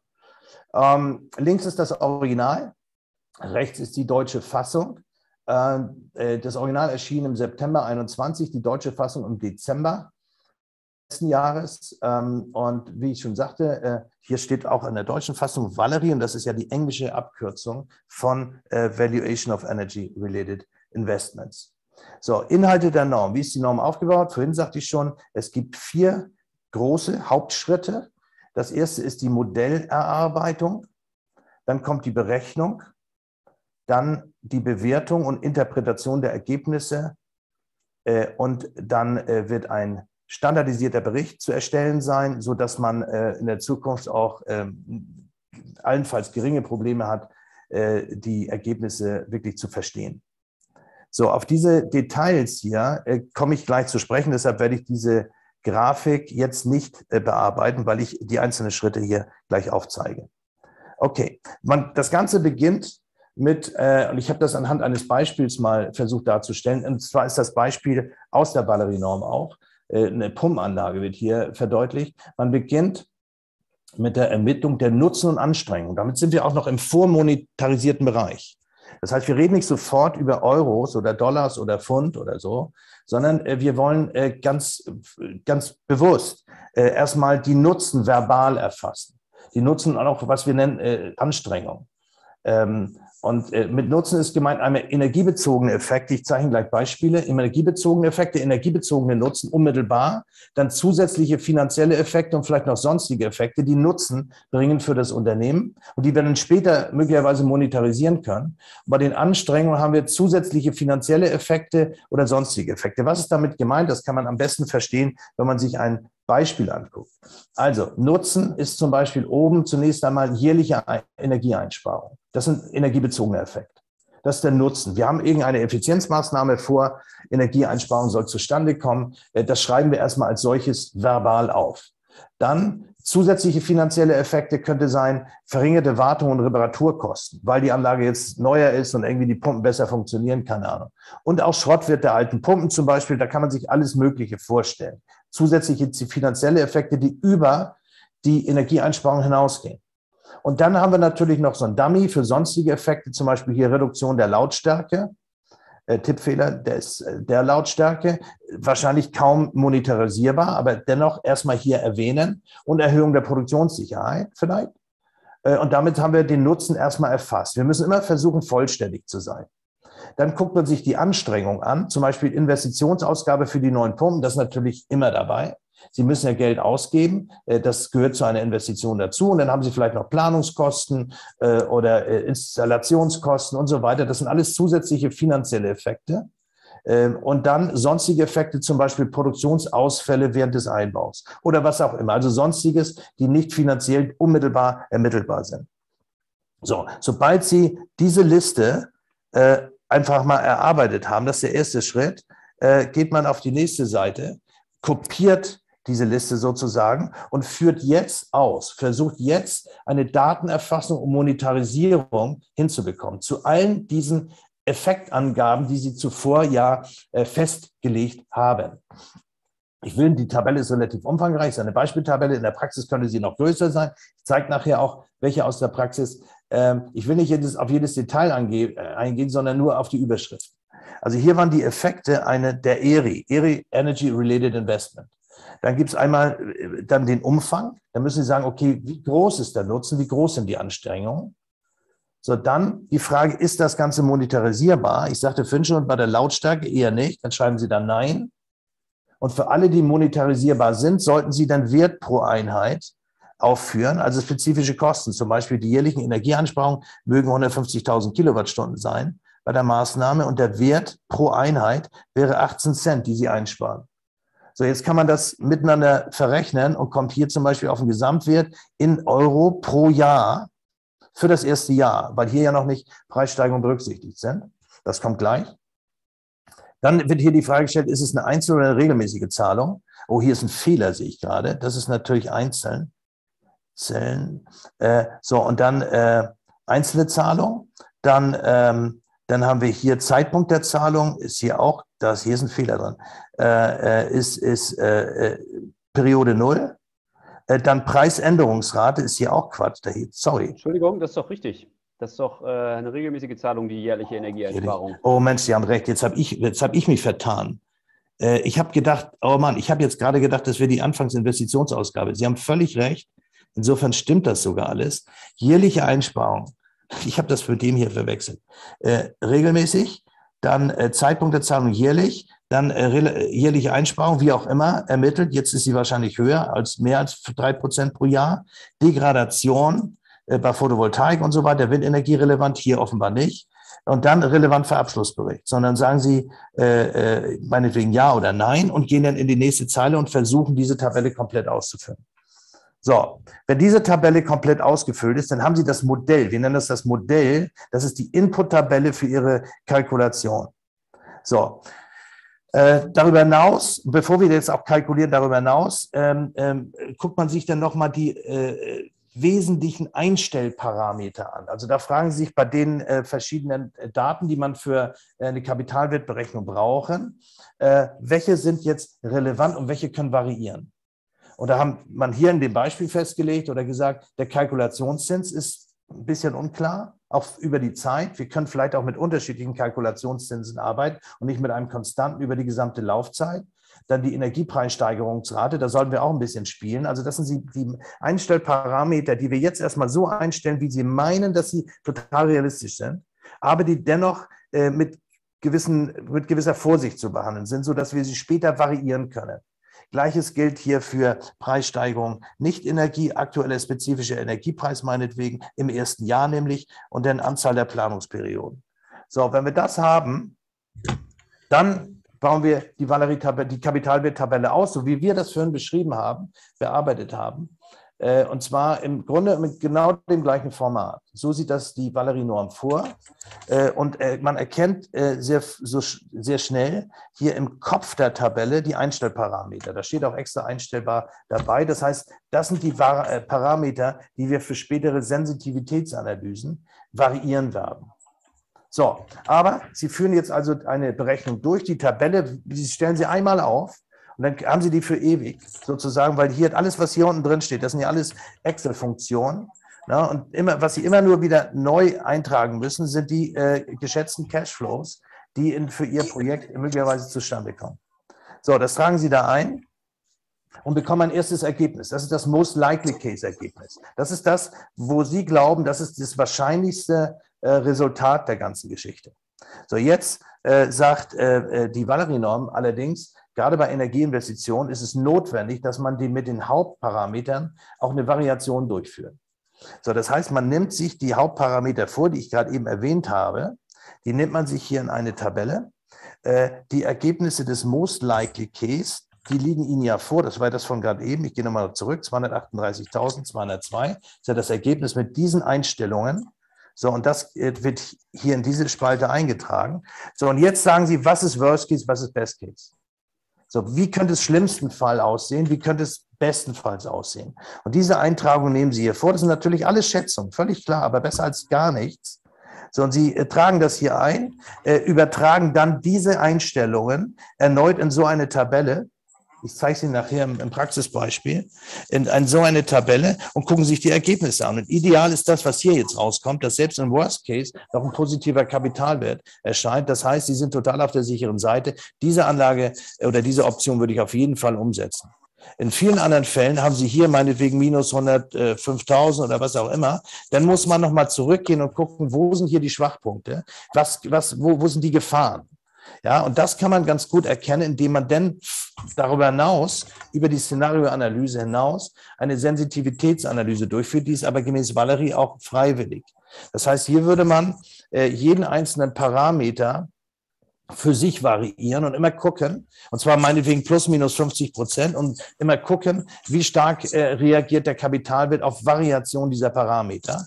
Das Ganze äh, macht man dann äh, visuell sichtbar mit Hilfe solchen, solcher Liniendiagramme und erkennt relativ schnell, dass hier dieses, äh, äh, dieser, dieser Parameter hier, also diese Linie, die steilste ähm, äh, Linie ist. Und worum handelt es sich hier? Äh, das wird äh, die jährliche Menge der eingesparten oder produzierten Energie sein. Das heißt, die hat den größten Einfluss in diesem Fall auf das Ergebnis und deshalb muss man sich das Ganze nochmal ganz genau angucken, um da eine gewisse Sicherheit herauszubekommen. Äh, wenn man das Ganze durchgeführt hat, ist das in einem Bericht, in einem Bewertungsbericht festzuhalten. Der ist auch standardisiert, wie hier dargestellt, äh, ist relativ unspektakulär. Sie müssen dann eben beschreiben, äh, worum geht es hier, wer ist der Vorschlagende, welches Datum, kurze Beschreibung der Investition, dann Zusammenfassung der Ergebnisse. Hier findet die Interpretation des Ergebnisses statt. Die Ergebnisse als Excel-Tabelle fügen Sie bei, dass der Adressat auch wirklich alles vollständig nachvollziehen kann. Da steht dann hier auch Anhang, Tabelle 1, Tabelle 2, Tabelle 3 in einem bestimmten Excel-Tableau. Und man kann alles nachvollziehen und das war's. Das war's eigentlich.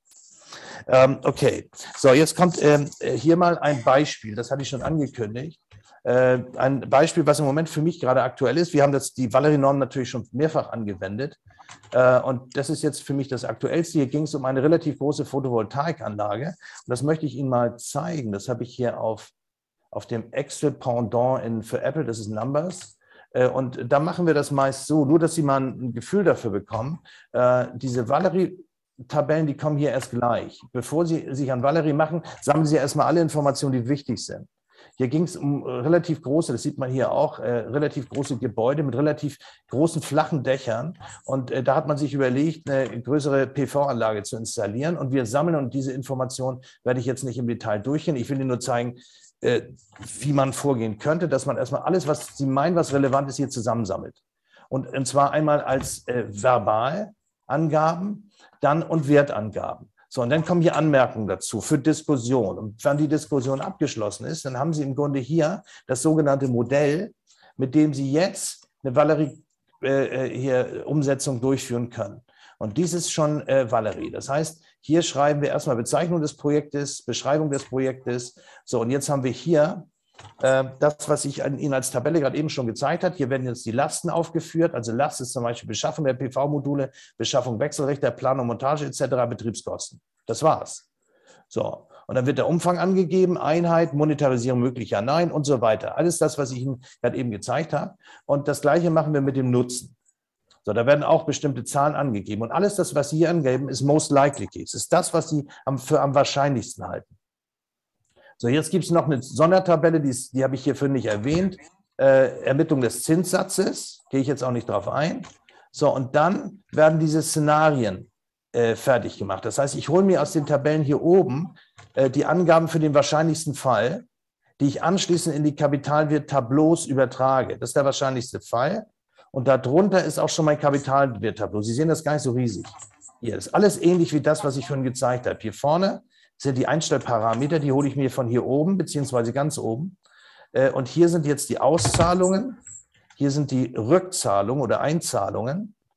So, die werden jetzt über die Zeit hier aufgeführt. Hier, sind, hier ist die Periodennummer, äh, äh, also viertes Jahr, fünftes Jahr, sechstes Jahr und so weiter. Wie weit geht das? Hier in diesem Fall sogar 25 Jahre.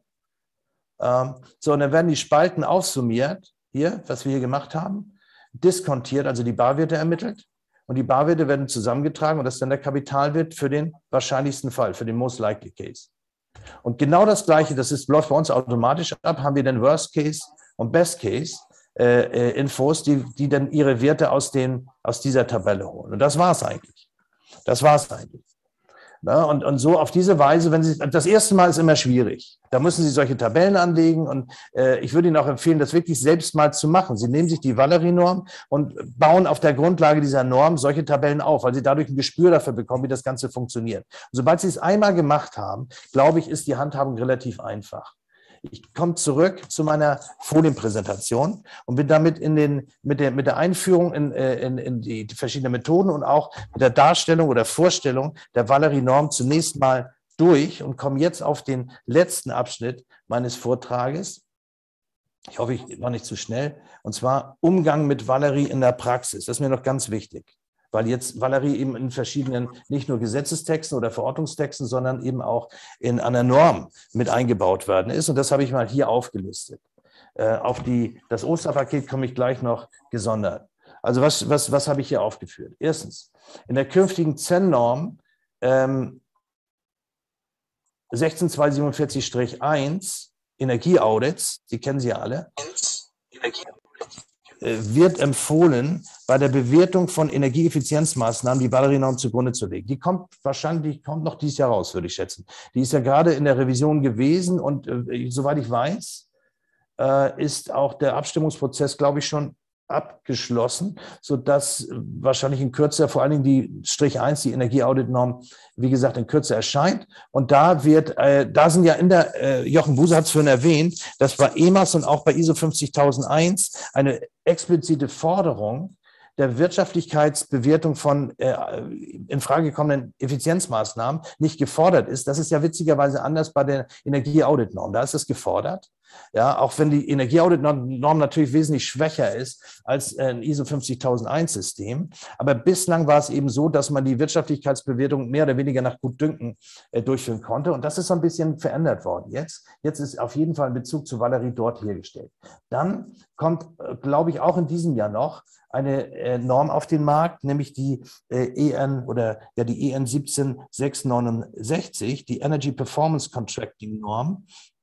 Und dort ist geregelt, dass sich die Kalkulation von Contracting-Gebühren nach der Valerie-Norm zu richten hat. Also die, die, da, es gibt im Anhang dieser Norm auch äh, ein Kalkulationsschema zur Ermittlung von Contracting-Gebühren und das ist direkt in Anlehnung an Valerie auch geschehen. Da waren wir mit daran beteiligt. So, dann, was ja vorhin schon erwähnt wurde, in der Carbon Leakage Verordnung ist vorgeschrieben, äh, dass äh, die Gewährung von CO2-Beihilfen die Ergreifung von wirtschaftlich durchführbaren Klimaschutzmaßnahmen voraussetzt, zum Beispiel 80 Prozent des Beihilfebetrags in 2025, wobei die Wirtschaftlichkeit durch Anwendung der Valerie-Norm festzustellen ist. So, da kommt das Problem, wie kann man das sicherstellen, dass das ordentlich gemacht wird? Darauf komme ich gleich zu sprechen.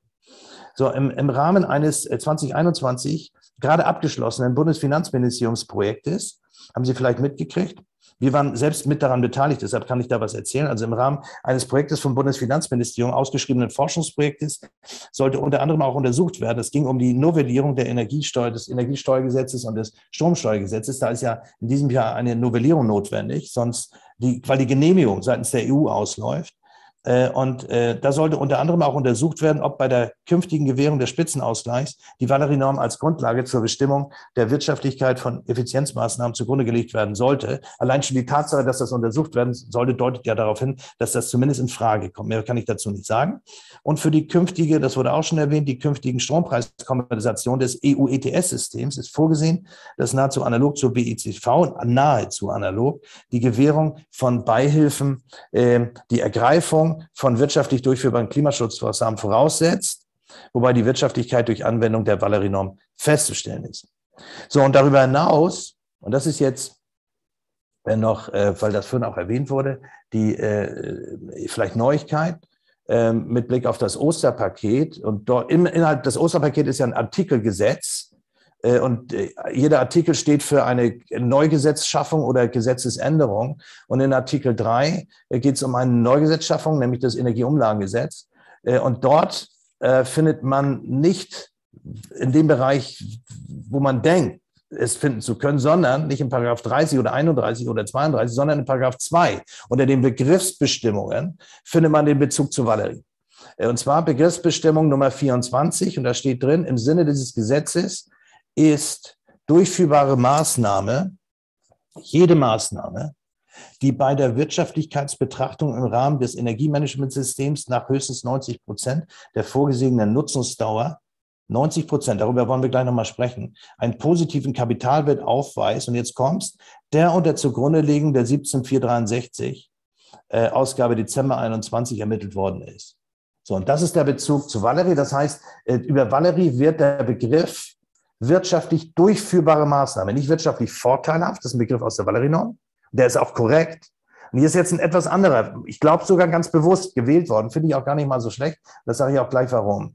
So, dann steht drin in Paragraph 30, Voraussetzung der Begrenzung der besonderen Ausgleichsregelung der künftigen, äh, gilt Folgendes, bei bestimmten Unternehmen werden Umlagen begrenzt, sofern 50.001 oder EMAS vorliegt und das Unternehmen energieeffizient ist. Das ist ja interessant. Das heißt, der Gesetzgeber äh, definiert Energieeffizienz. Also äh, definiert äh, die, die, die, äh, ähm, äh, äh, die, die Eigenschaft, dass ein Unternehmen energieeffizient ist. Nämlich, er meint damit Folgendes, entweder, das ist ein Oder, eine Oder-Verknüpfung, ähm, entweder Umsetzung aller wirtschaftlich durchführbaren Maßnahmen, die im Energiemanagementsystem äh, konkret identifiziert worden sind. Das heißt, da steht aller wirtschaftlich durchführbaren Maßnahmen. Ihr Begriff hier oben. Das heißt, die müssen nach Valerie bewertet werden. Äh, also wenn Sie Maßnahmen im Köcher haben, äh, in der Liste stehen haben, dann müssen die nach Valerie bewertet werden. Jetzt guckt man sich an, was am Ende rauskommt. So, und all jene, die einen positiven Kapitalwert aufweisen, müssen umgesetzt werden. So, jetzt kann es aber natürlich sein, dass sie so toll sind, dass da nichts mehr ist, was wirtschaftlich vorteilhaft ist, jedenfalls im Moment. Das ändert sich natürlich mit steigenden Energiepreisen. Äh, dann könnte das rauskommen. Keine wirtschaftlich durchführbaren Maßnahmen konkret identifiziert worden sind, dann äh, sind, gelten sie auch als energieeffizient. Oder Einsatz von mindestens 50 Prozent des im letzten Jahr gewährten Begrenzungsbetrags. Das ist die Einsparung. Letztendlich sehr komisch, schwer zu interpretieren im Übrigen. Äh, Gewinnbegrenzungsbetrag für äh, Maßnahmen, die im Energiemanagement konkret identifiziert worden sind. So, und dann noch verschiedene andere Dinge. Darauf will ich nicht eingehen, weil es nicht der direkte Bezug zu Valerie da ist. Sondern hier geht es darum, also, dass man prüft, was ist wirtschaftlich vorteilhaft oder finden wir, finden wir keine, die wirtschaftlich vorteilhaft sind. Das ist Paragraph 30. Und was auch noch wichtig ist, und das betrifft jetzt vor allem die Zertifizierer aller GOT-Zerten, ist die Nachweisführung. Das wurde ja vorhin schon erwähnt. Äh, es müssen Eigenerklärungen erstellt werden äh, dahingehend, ob nur wirtschaftliche Vorteilhaftigkeit vorliegt oder eben gerade nicht. Und dazu braucht, braucht es eine Bestätigung der prüfungsbefugten äh, Stelle. So, wie, wie geht man damit um? Was, was, wo ist das Problem? Wir haben drei Probleme hier in diesem Kontext. Das eine ist, ähm, dies nach höchstens 90 Prozent der vorgesehenen Nutzungsdauer. Was ist denn damit gemeint? Das will ich Ihnen gleich zeigen. Das heißt, wirtschaftlich durchführbare Maßnahme. Äh, das heißt, äh, die bei der Wirtschaftlichkeitsbetrachtung im Rahmen des Energiemanagementsystems nach höchstens 90 Prozent der vorgesehenen Nutzungszahl einen positiven Kapitalbedarf. Gucken wir uns gleich an. Dann äh, äh, kommen wir auf den Punkt noch.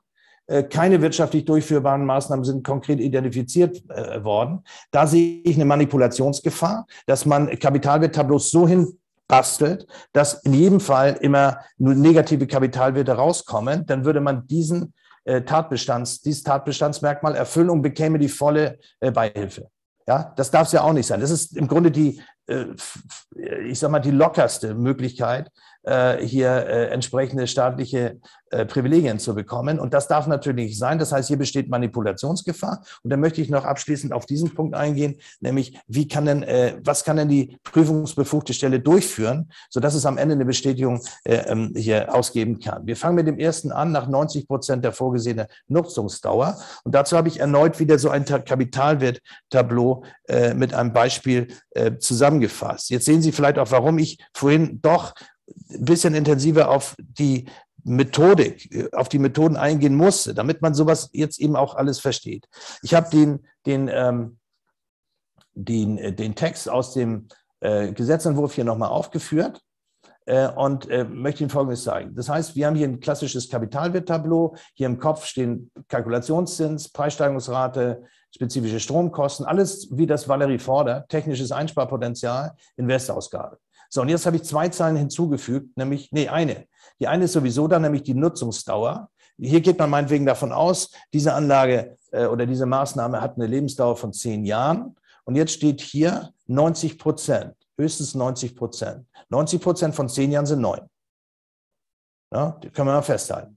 Also nach neun Jahren, äh, nach, in diesem Fall nach neun Jahren muss ein positiver Kapitalbild vorliegen. Okay. So, schauen wir uns mal in diesem, dieses Beispiel an. Hier sind die verschiedenen Perioden, spezifische Energiepreise mit Preissteigerungsrate, wie Sie sehen können. Äh, dann haben wir die Investitionsauszahlung 380.000 Euro. Und Sie haben Energiekosteneinsparung, nämlich 250.000 Kilowattstunden mal dem jeweiligen spezifischen Energiepreis. Äh, und dann kommt man auf diese Werte. So, das Ganze wird jetzt aufsummiert, was natürlich lächerlich ist aber man muss es machen, die, Spach, äh, die Spaltensummen. Dann ermitteln wir die Kapitalwerte, also die Tabelle tut es. Man summiert die Kapitalwerte auf. Na? So, das sind die kumulierten Barwerte. Wenn man eine Amortisationszeitberechnung machen wollte, in diesem Fall gehe ich nicht so weit, aber ich, zeige, ich will Ihnen zeigen, wie hoch ist denn der Kapitalwert, wenn man nur neun Perioden berücksichtigt, nämlich 90 Prozent. Sondern in diesem Einzelfall, das habe ich natürlich so ein bisschen zurechtgefummelt, um meine Argumentation zu untermauern, aber es ist absolut denkbar. Es ist so, dass diese Anlage hier nach zehn Jahren wirtschaftlich vorteilhaft wäre. Das heißt, bei einem Zinssatz von drei Prozent, und das wäre die beste Alternativanlagemöglichkeit, wird ein Kapitalwert von bald 42.000 Euro erzeugt. Insofern besser. So, was sagt jetzt das Gesetz? Das sagt, naja, wirtschaftlich durchführbar gilt alles, was nach höchstens 90 Prozent äh, einen positiven Kapitalwert hat. Wie hoch ist denn der Kapitalwert nach neun Perioden? Oh, der ist negativ, minus 2000. Das heißt, gemäß Gesetz gilt diese Anlage als wirtschaftlich nicht durchführbar, gleichwohl sie wirtschaftlich vorteilhaft ist. Das habe ich hier nochmal geschrieben. Diese Maßnahme ist zwar wirtschaftlich vorteilhaft, positiver Kapitalwert, die Umsetzung für ein Unternehmen insofern ökonomisch sinnvoll, Steigerung des Unternehmenswertes, gilt nach dem künftigen ENUG allerdings nicht als wirtschaftlich durchführbar. Und deshalb glaube ich auch, dass Sie bewusst diesen Begriff hier gewählt haben, um nicht mit Vorteilhaftigkeit in Konflikt zu geraten. Also gilt nach dem künftigen ENUG allerdings nicht als wirtschaftlich durchführbar und muss daher nicht umgesetzt werden. Dies steht im Widerspruch zu Valerie. Das, irgendwie macht das nicht so viel Sinn. Aber gut, äh, wir müssen mal überlegen, ob man da mal versucht, äh, das Ministerium darauf noch hinzuweisen. Denn es ist ja, glaube ich, alles noch ein Entwurf. Ähm, so ist ja noch nicht ein verabschiedetes Gesetz. So, nächster Punkt war Manipulationsgefahr. Hier habe ich noch aufgeführt. Also ähm, es besteht die Gefahr, dass Unternehmen, und das gilt nicht nur für das ENOG, sondern auch für das BICV, da gilt ja eine ähnliche Regelung, äh, dass Unternehmen geneigt sind, äh, Maßnahmen, die in der äh, Maßnahmenliste, etwa im Rahmen eines Energieaudits erarbeitet worden sind, bewusst negativ zu rechnen, weil man dann auch die Privilegien bekommt, wenn man das nachweisen kann. So, wie, was, was meine ich damit? Wie kann man sich das vorstellen? Hier wieder Beispiele. Hier haben wir ein Basistableau mit einer Anlage, die man wirklich äh, neutral, meinetwegen so berechnen würde, mit drei Prozent Kalkulationszins. Das ist die beste Alternativanlagemöglichkeit. Man schätzt die Preissteigerungsrate mit vier Prozent äh, ab und so weiter und so fort. So, jetzt kommt man plötzlich auf ein Ergebnis von 31.000, also fast 32.000 Euro und sagt, ja, das wäre eigentlich, also insofern eigentlich ist diese Maßnahme wirtschaftlich vorteilhaft. Jetzt sagt aber meinetwegen der Energiemanager oder die Geschäftsleitung, nein, nein, nein, äh, lassen, wir sollten versuchen, äh, die Kapitalwerte auf Negativergebnisse hinauslaufen zu lassen, weil das viel einfacher ist. Dann kriegen wir sowieso die Beihilfe.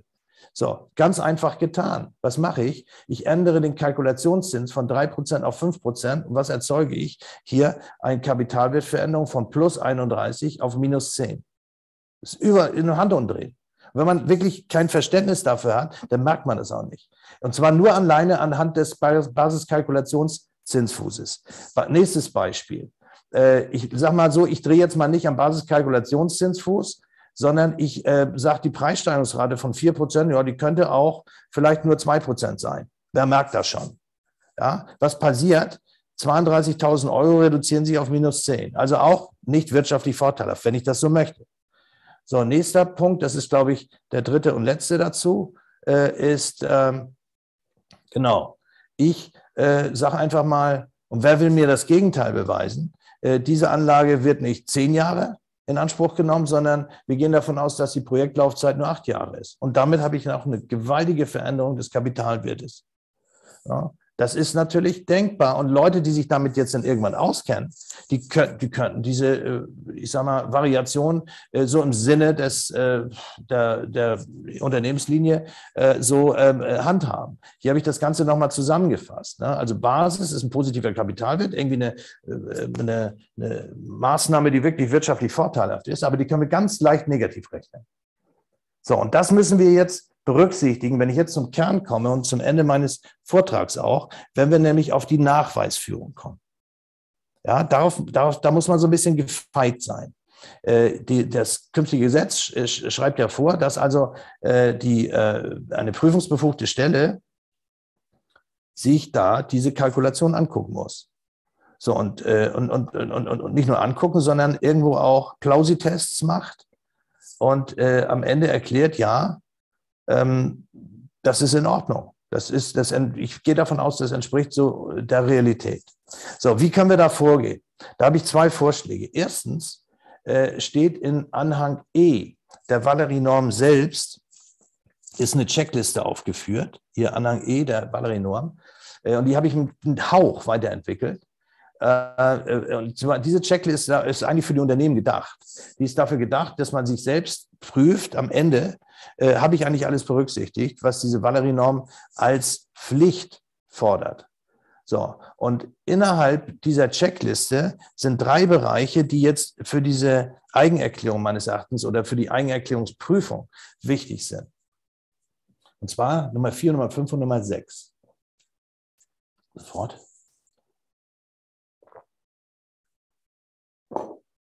Und zwar einmal Bestimmung der Investitionslaufzeit und der Cashflow-Zeitpunkte. Hatte ja gerade gezeigt, damit hat man enorm Manipulationsspielraum. Dann Bestimmung des Kalkulationszinssatzes und Berücksichtigung von Risiken, Auswirkungen von Preisschwankungen und Degradation.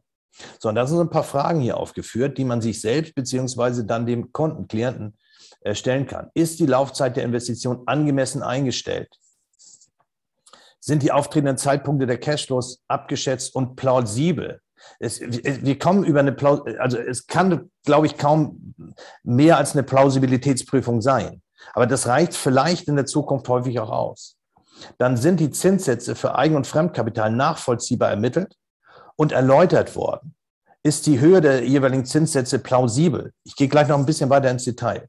Und schließlich hier wird das Risiko als Reduktion der Rückflüsse berücksichtigt. Gibt es Aussagen über die Risikosituation der Investition und vor allem werden unterschiedliche Preisschwankungen berücksichtigt und sind sie plausibel?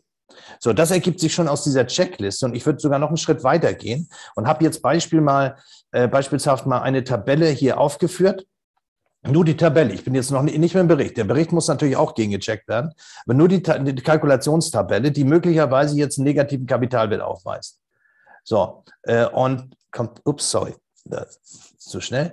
Ähm, und äh, da, äh, ich habe mich in die Rolle versetzt eines Zertifizierers, einer Zertifizierungsstelle, und mir wird das jetzt vorgelegt. Und äh, ich muss jetzt kritisch prüfen, kann das denn sein, dass bei dieser Maßnahme wirklich ein so negativer Kapitalwert rauskommt? Das heißt, ich gehe jetzt einen nach dem anderen Parameter durch und sage, guck mir 6% an und frage mich erstmal selbst, ist das plausibel? 6%, das ist sehr hoch. Das muss man mir schon mal erklären. Ist das überhaupt korrekt? Und äh, um eine gewisse Sicherheit zu bekommen, könnte ich ja fragen, können Sie mir mal andere Investitionsrechnungen äh, zeigen, die Sie für ganz andere Sachen außerhalb des Energiebereichs machen, möchte ich gerne mal vorgelegt bekommen. So würden es ja auch Wirtschaftsprüfer machen. Die machen ja solche, solche Checks, solche Querchecks ab und zu. Äh, und das würde ich mir zeigen lassen, um einfach ein Gefühl dafür zu bekommen, kann das sein? Und dann redet man darüber und dann sagt vielleicht der, der Kunde, naja, sechs Prozent ist schon hart, ist ziemlich hochgegriffen. Und so dann einigt man sich vielleicht auf vier Prozent oder so ähnlich, weil das eben korrekter zu sein scheint. Gleiches mit Preissteigerungsrate. Das ist für den Zertifizierer noch einfacher. Wenn da heute stünde zwei Prozent für Gas, dann würde ich von vornherein sagen, das, das wird natürlich nicht akzeptiert. Das ist ja viel zu wenig. Äh, also mit anderen Worten, nachvollziehbar korrekt, Fragezeichen. Spezifische Stromkosten. Äh, muss man prüfen. Nachvollziehbar korrekt, da kann man gucken, zeigen Sie bitte die letzte Energierechnung. Da steht meinetwegen drin, nein, die haben nur äh, äh, hier äh, die haben 22 äh, Cent, nee, weniger, 10 Cent nur gezahlt, dann müsste man das korrigieren. Dann technisches Einsparpotenzial, ist natürlich eine technische Frage. Äh, Sie gucken sich die Beschreibung eines Projektes an und fragen sich, kann, kann das hinkommen mit den 200.000 Kilowattstunden? Das ist abhängig davon, ob Sie das verstehen oder nicht. Das kann man nicht allgemeingültig sagen, dass man es das sehr gut prüfen kann. Aber ich würde auf jeden Fall für mich selbst fragen, ist das plausibel, ist das nachvollziehbar, ist das korrekt? Und dann auch die Investitionsausgabe. Da kann man natürlich äh, sich mal den Kostenvoranschlag äh, vorlegen lassen.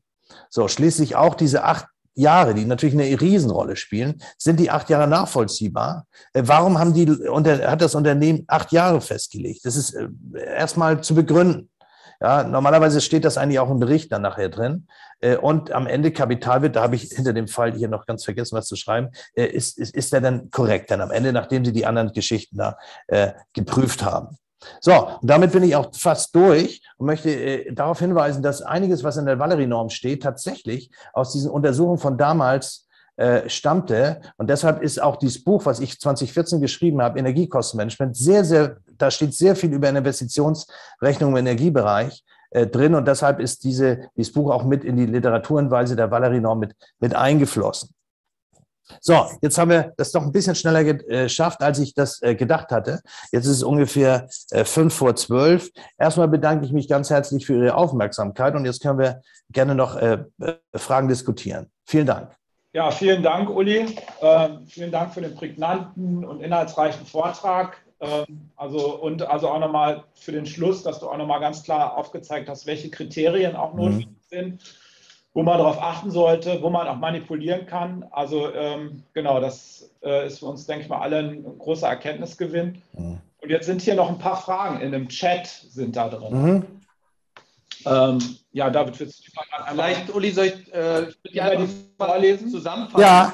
Es kamen ganz, ganz viele Fragen so in die Richtung, naja, welche Maßnahmen sind jetzt überhaupt zu berücksichtigen? Und ist die, kann ich die Valerie-Norm jetzt überhaupt für alle möglichen Maßnahmen äh, berücksichtigen? Bin ich jetzt sozusagen beschränkt auf technische Maßnahmen? Mhm. Aber kann ich zum Beispiel auch Energieeffizienz eines Neubaus oder sonstiges mit berücksichtigen?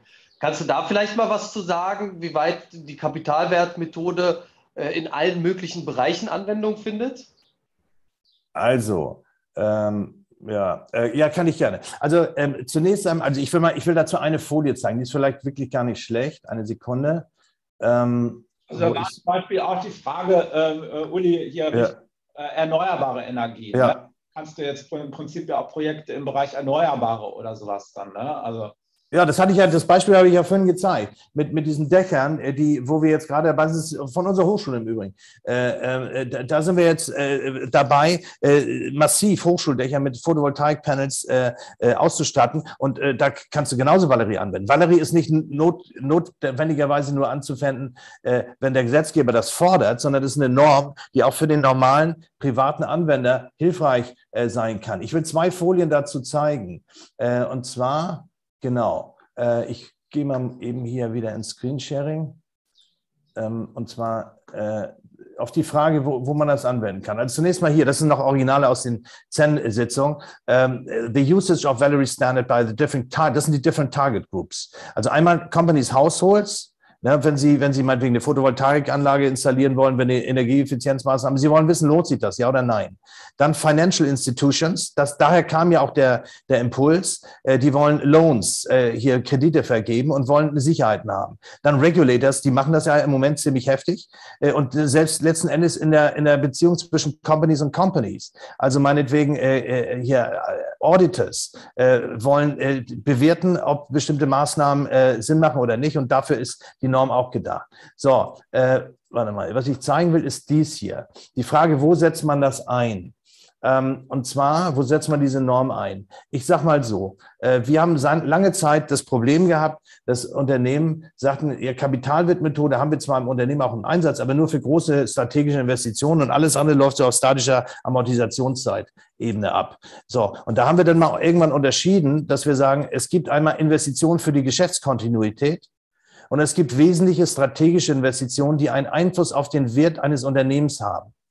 So, und hier bei solchen kleinen Geschichten, also wenn es darum geht, meinetwegen irgendwelche Bewegungsmelder für die äh, Lichtausschaltung in, äh, in den Sanitärräumen äh, zu installieren, dann ist Valerie völlig, völlig übertrieben sondern es geht einfach darum, äh, dass es äh, äh, substanzielle Investitionen sind. Um einen Eurobetrag zu nennen, ist schwierig, aber ich würde mal sagen, unter 20.000 Investitionssumme würde ich Valerie nicht anwenden. Da ist der Aufwand einfach viel zu groß. Hier bei dieser Grafik haben wir Folgendes gesagt. Äh, hier, hier unten haben wir Investitionen, die verstanden werden als kostenverursachende Aktivität.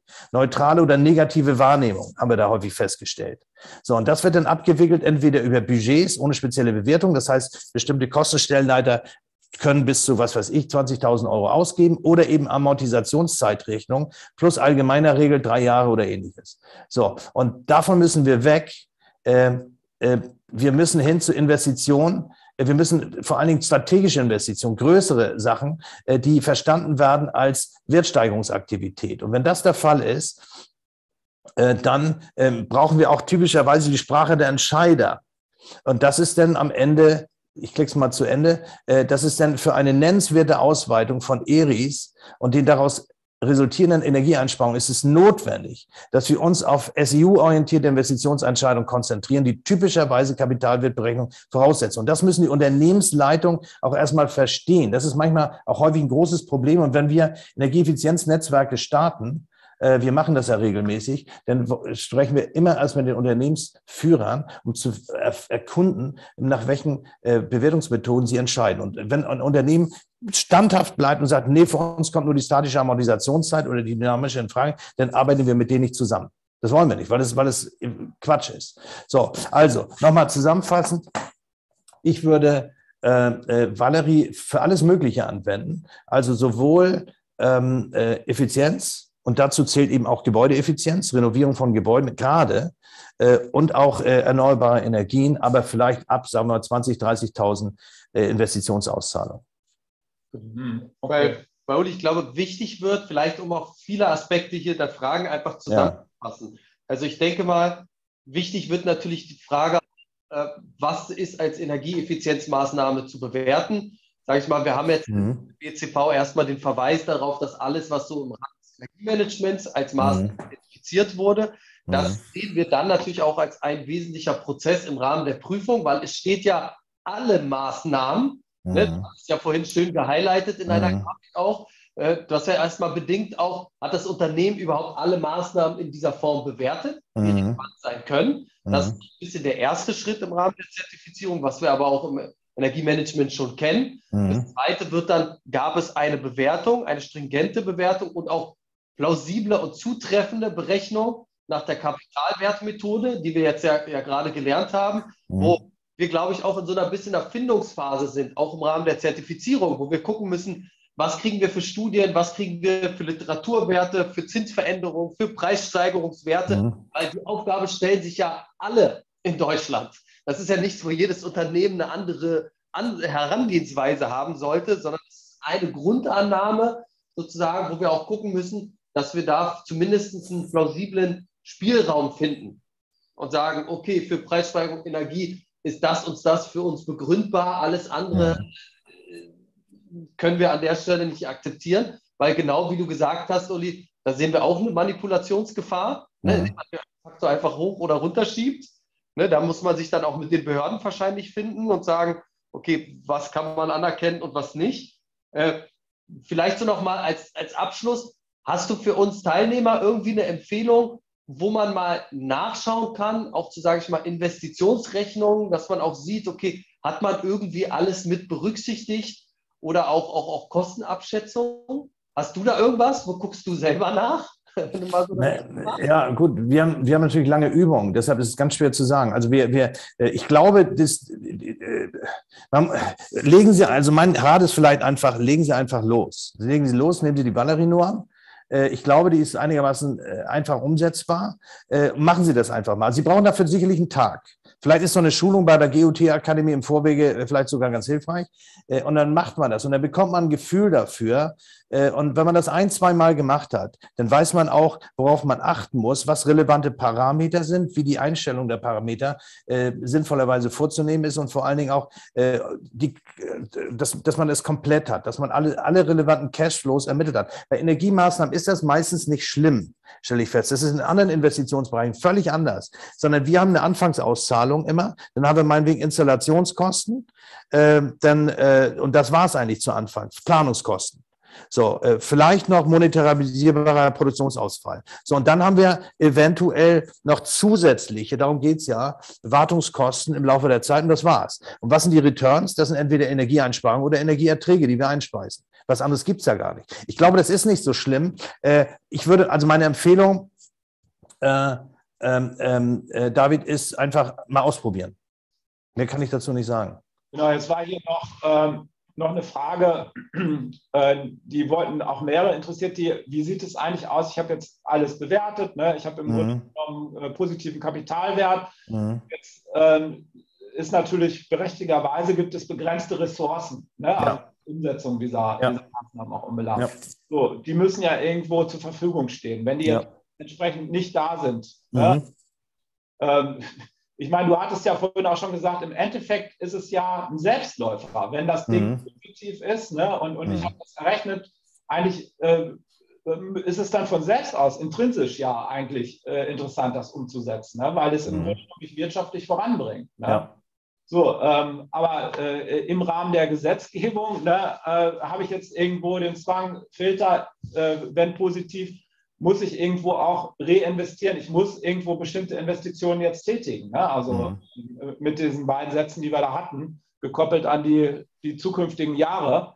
Ähm, ja, äh, also für mich ist es eigentlich so ein bisschen selbsterklärend, aber vielleicht kannst du noch mal was dazu sagen. Und dann noch eine weitere Frage, ähm, das hat, hab, hatte ich mir auch gestellt. Du hast ja dieses Tableau und diese Tools auch vorgestellt. Gibt es da eine Vorgabe? Gibt es irgendein Tool, was man wie so eine Schablone, die, äh, die äh, ja, den, den Nutzern zur Verfügung gestellt werden könnte? Weil man kann, könnte sich das ja selbst bauen in Excel. Ähm, oder äh, könnte man da nicht irgendwie auch sowas zur Verfügung stellen, was eigentlich alle dann nutzen können mit den Parametern, die du eigentlich auch sehr schön, also die du auch sehr schön dargestellt hattest. Okay, äh, zwei Punkte. Erstens das Thema, was du zu Anfang ansprachst äh, mit, mit äh, Ressourcen. Das stimmt. Also es ist im Grunde, man hat einen Wettbewerb um die Ressourcen, die da sind. Aber man muss sich das so vorstellen, hier ist ein Unternehmen und das hat, ist meinetwegen gut liquide oder eben nicht. Ist hoch verschuldet oder gut liquide? So, wenn es gut liquide ist und eine Menge Eigenkapital besitzt, dann kann man theoretisch so lange Energieprojekte durchführen, und zwar mit Eigenkapital, bis man kein, bis, bis das Eigenkapital sozusagen, bis die Liquidität aufgebraucht ist, rein theoretisch. So, und wenn es dann immer noch ganz tolle Projekte gibt, die würde man ja jetzt auch anders rechnen. Da würde man jetzt nicht mehr die beste Alternativanlagemöglichkeit nehmen, weil das Eigenkapital, also die, die flüssigen Mittel nicht mehr da sind, sondern man würde dann vielleicht darüber nachdenken, einen Kredit aufzunehmen, weil eben bestimmte Maßnahmen immer noch ganz toll sind. So, und dann würde man eben mit dem Kreditzins arbeiten. Und dann muss man gucken, äh, ob die Banken mitspielen. Und je mehr sie, je mehr man auch Kredite aufnimmt, desto höher ist ja der Verschuldungsgrad. Und je höher der Verschuldungsgrad ist, desto höher ist der Zins, den Banken fordern weil das Risiko steigt. Insofern hat das irgendwann sowieso ein Ende. Ne? Äh, also, aber ganz generell gilt, und das ist das, was du ja auch sagtest, äh, dass ähm, dass wenn ich, wenn ich investieren will für Energieeffizienzmaßnahmen, stehen die durch die Kapitalwertmethode in Konkurrenz zu anderen Maßnahmen, die mit Energie überhaupt nichts zu tun haben. Und wenn die anderen besser sind, werden die vorgezogen. Dann ist nämlich der Kapitalwert negativ im Zweifel. So, das ist das eine. So, das zweite, was du meinst mit Schablone. Also du meinst, wenn ich dich richtig verstehe, sowas wie ein Excel-Tableau, das man bereitstellt und die Leute können damit basteln. Ich würde das nicht empfehlen, sondern diese, man muss das selbst einmal gemacht haben. Äh, also ich, ich habe jetzt gleich in zehn Minuten äh, hier ähm, äh, eine Lehrveranstaltung Investitionsrechnung und die Studenten fragen mich natürlich auch ständig, äh, ob, ob kann ich, Herr Nissen, können Sie nicht irgendwie so ein Excel-Tablette hinstellen? Ich sage, nee, Sie sollen es ja gerade selbst machen. Denn dadurch lernt man, wie es funktioniert. Und das würde ich empfehlen.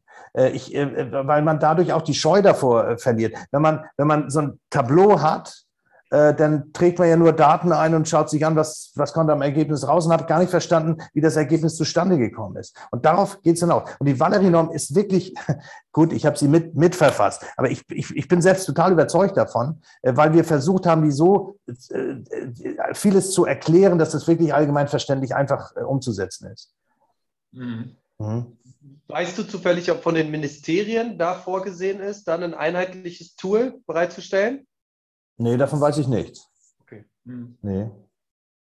Klasse. Gut, jetzt mit den Maßnahmen, jetzt war noch so die Frage, müssen alle Maßnahmen äh, bewertet werden, irgendwie in dieser Richtung? Mhm. Du hättest ja jetzt, sag ich mal, auch äh, schon, sag ich mal, Werte genannt, ab wann lohnt sich das eigentlich, mhm. äh, praktisch da Valerie auch anzuwenden?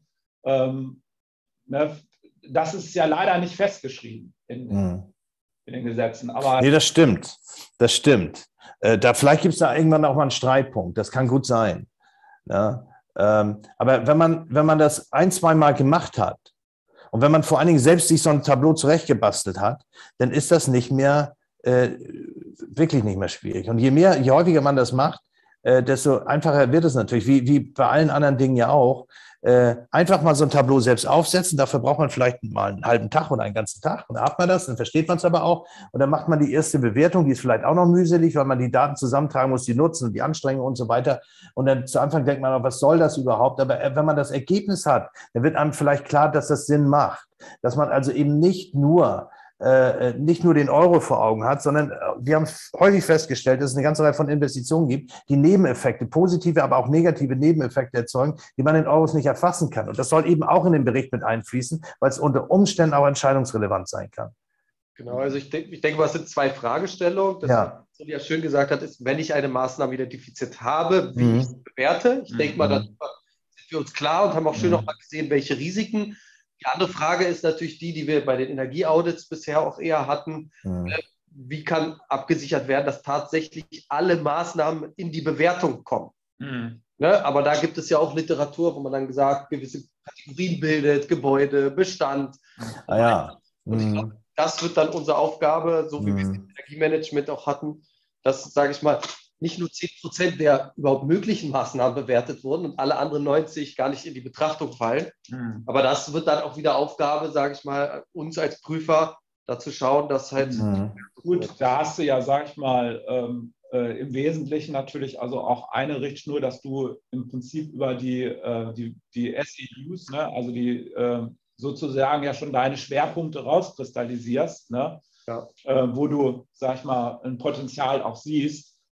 Und, ähm, und da kannst du natürlich sagen, wenn du das rauskristallisierst, äh, dann äh, erwartest du ja eigentlich auch, dass da nachfolgend dann auch mal äh, das bewertet wird. Ne? Also was, was ist da eigentlich als Maßnahme oder als Projekt denn möglich? Ne? Mhm, ja. also das, das, das, muss natürlich auch übereinstimmen. Ne? Aber ich denke, da, da kann man das natürlich ganz gut rauskristallisieren. Und dann gibt es natürlich viel auch abseits dessen, ne? was, was dann wirtschaftlich sein kann. Aber äh, wo man dann vielleicht sagt, Valerie ist dann also auch gerade für größere Projekte oder sowas dann äh, ähm, auf jeden Fall auch anzuwenden. Und genau, also Uli, vielen Dank. Sehr gerne. Für, für, äh, für, den Input, den du uns allen gegeben hast. Ja. Ähm, genau, also wir sind jetzt alle klüger geworden zum Wochenende. Ich, äh, vielleicht wird die eine oder der andere auch davon träumen. Aber ähm, genau, also es ist ähm, äh, ist eine Weiterentwicklung, die jetzt für alle relevant wird, ähm, die mehr und mehr, du hattest ja auch schon gezeigt, auch in die in neue Gesetze, äh, vielleicht also auch im Bereich Energie, Stromsteuern mhm. wird, also dann eine sehr breite Anwendung auch finden wird. Und äh, genau, das ist also jetzt äh, wichtig, sich frühzeitig damit zu beschäftigen und wie du auch gesagt hast, also auch äh, mal selbst auf den Weg zu machen, einfach das mal auszuprobieren. Ja. Ähm, genau, und wer da nochmal tiefer reingehen möchte, der ist eingeladen bei uns äh, in, in der Akademie, kann sich da nochmal einloggen. Da geht man dann äh, nochmal einen ganzen Tag in den, in, den, in den Diskurs und kann auch sicherlich auch mal eigene Sachen damit reinbringen. Ne? Mhm. Mhm. Ne? Ähm, ja, das ist eine gute Idee sogar. Mhm. Ist man dazu aufgerufen. Und genau, dann können wir von unserer Seite nochmal sagen, wunderschönes Wochenende. Ja. Vielen Dank auch Sie alle, dass Sie äh, dabei waren. Vielen Dank für Ihre Fragen auch. Und genau, und wir hoffen, dass wir uns bald mal wiedersehen und äh, ja, vielleicht auch in einem anderen Webinar. Wer möchte, kann sich gerne noch mal per Bild kurz dazuschalten, dann sehen wir uns auch noch mal. Und genau, dann schöne Grüße aus Berlin nach ganz Deutschland. Und dir, Uli, deine gute Vorstellung. Ne? Ich danke ganz herzlich. Bis zum nächsten Vielen Dank. Danke. Durchatmen, bevor du in die Vorlesung gehst, ja? Ja.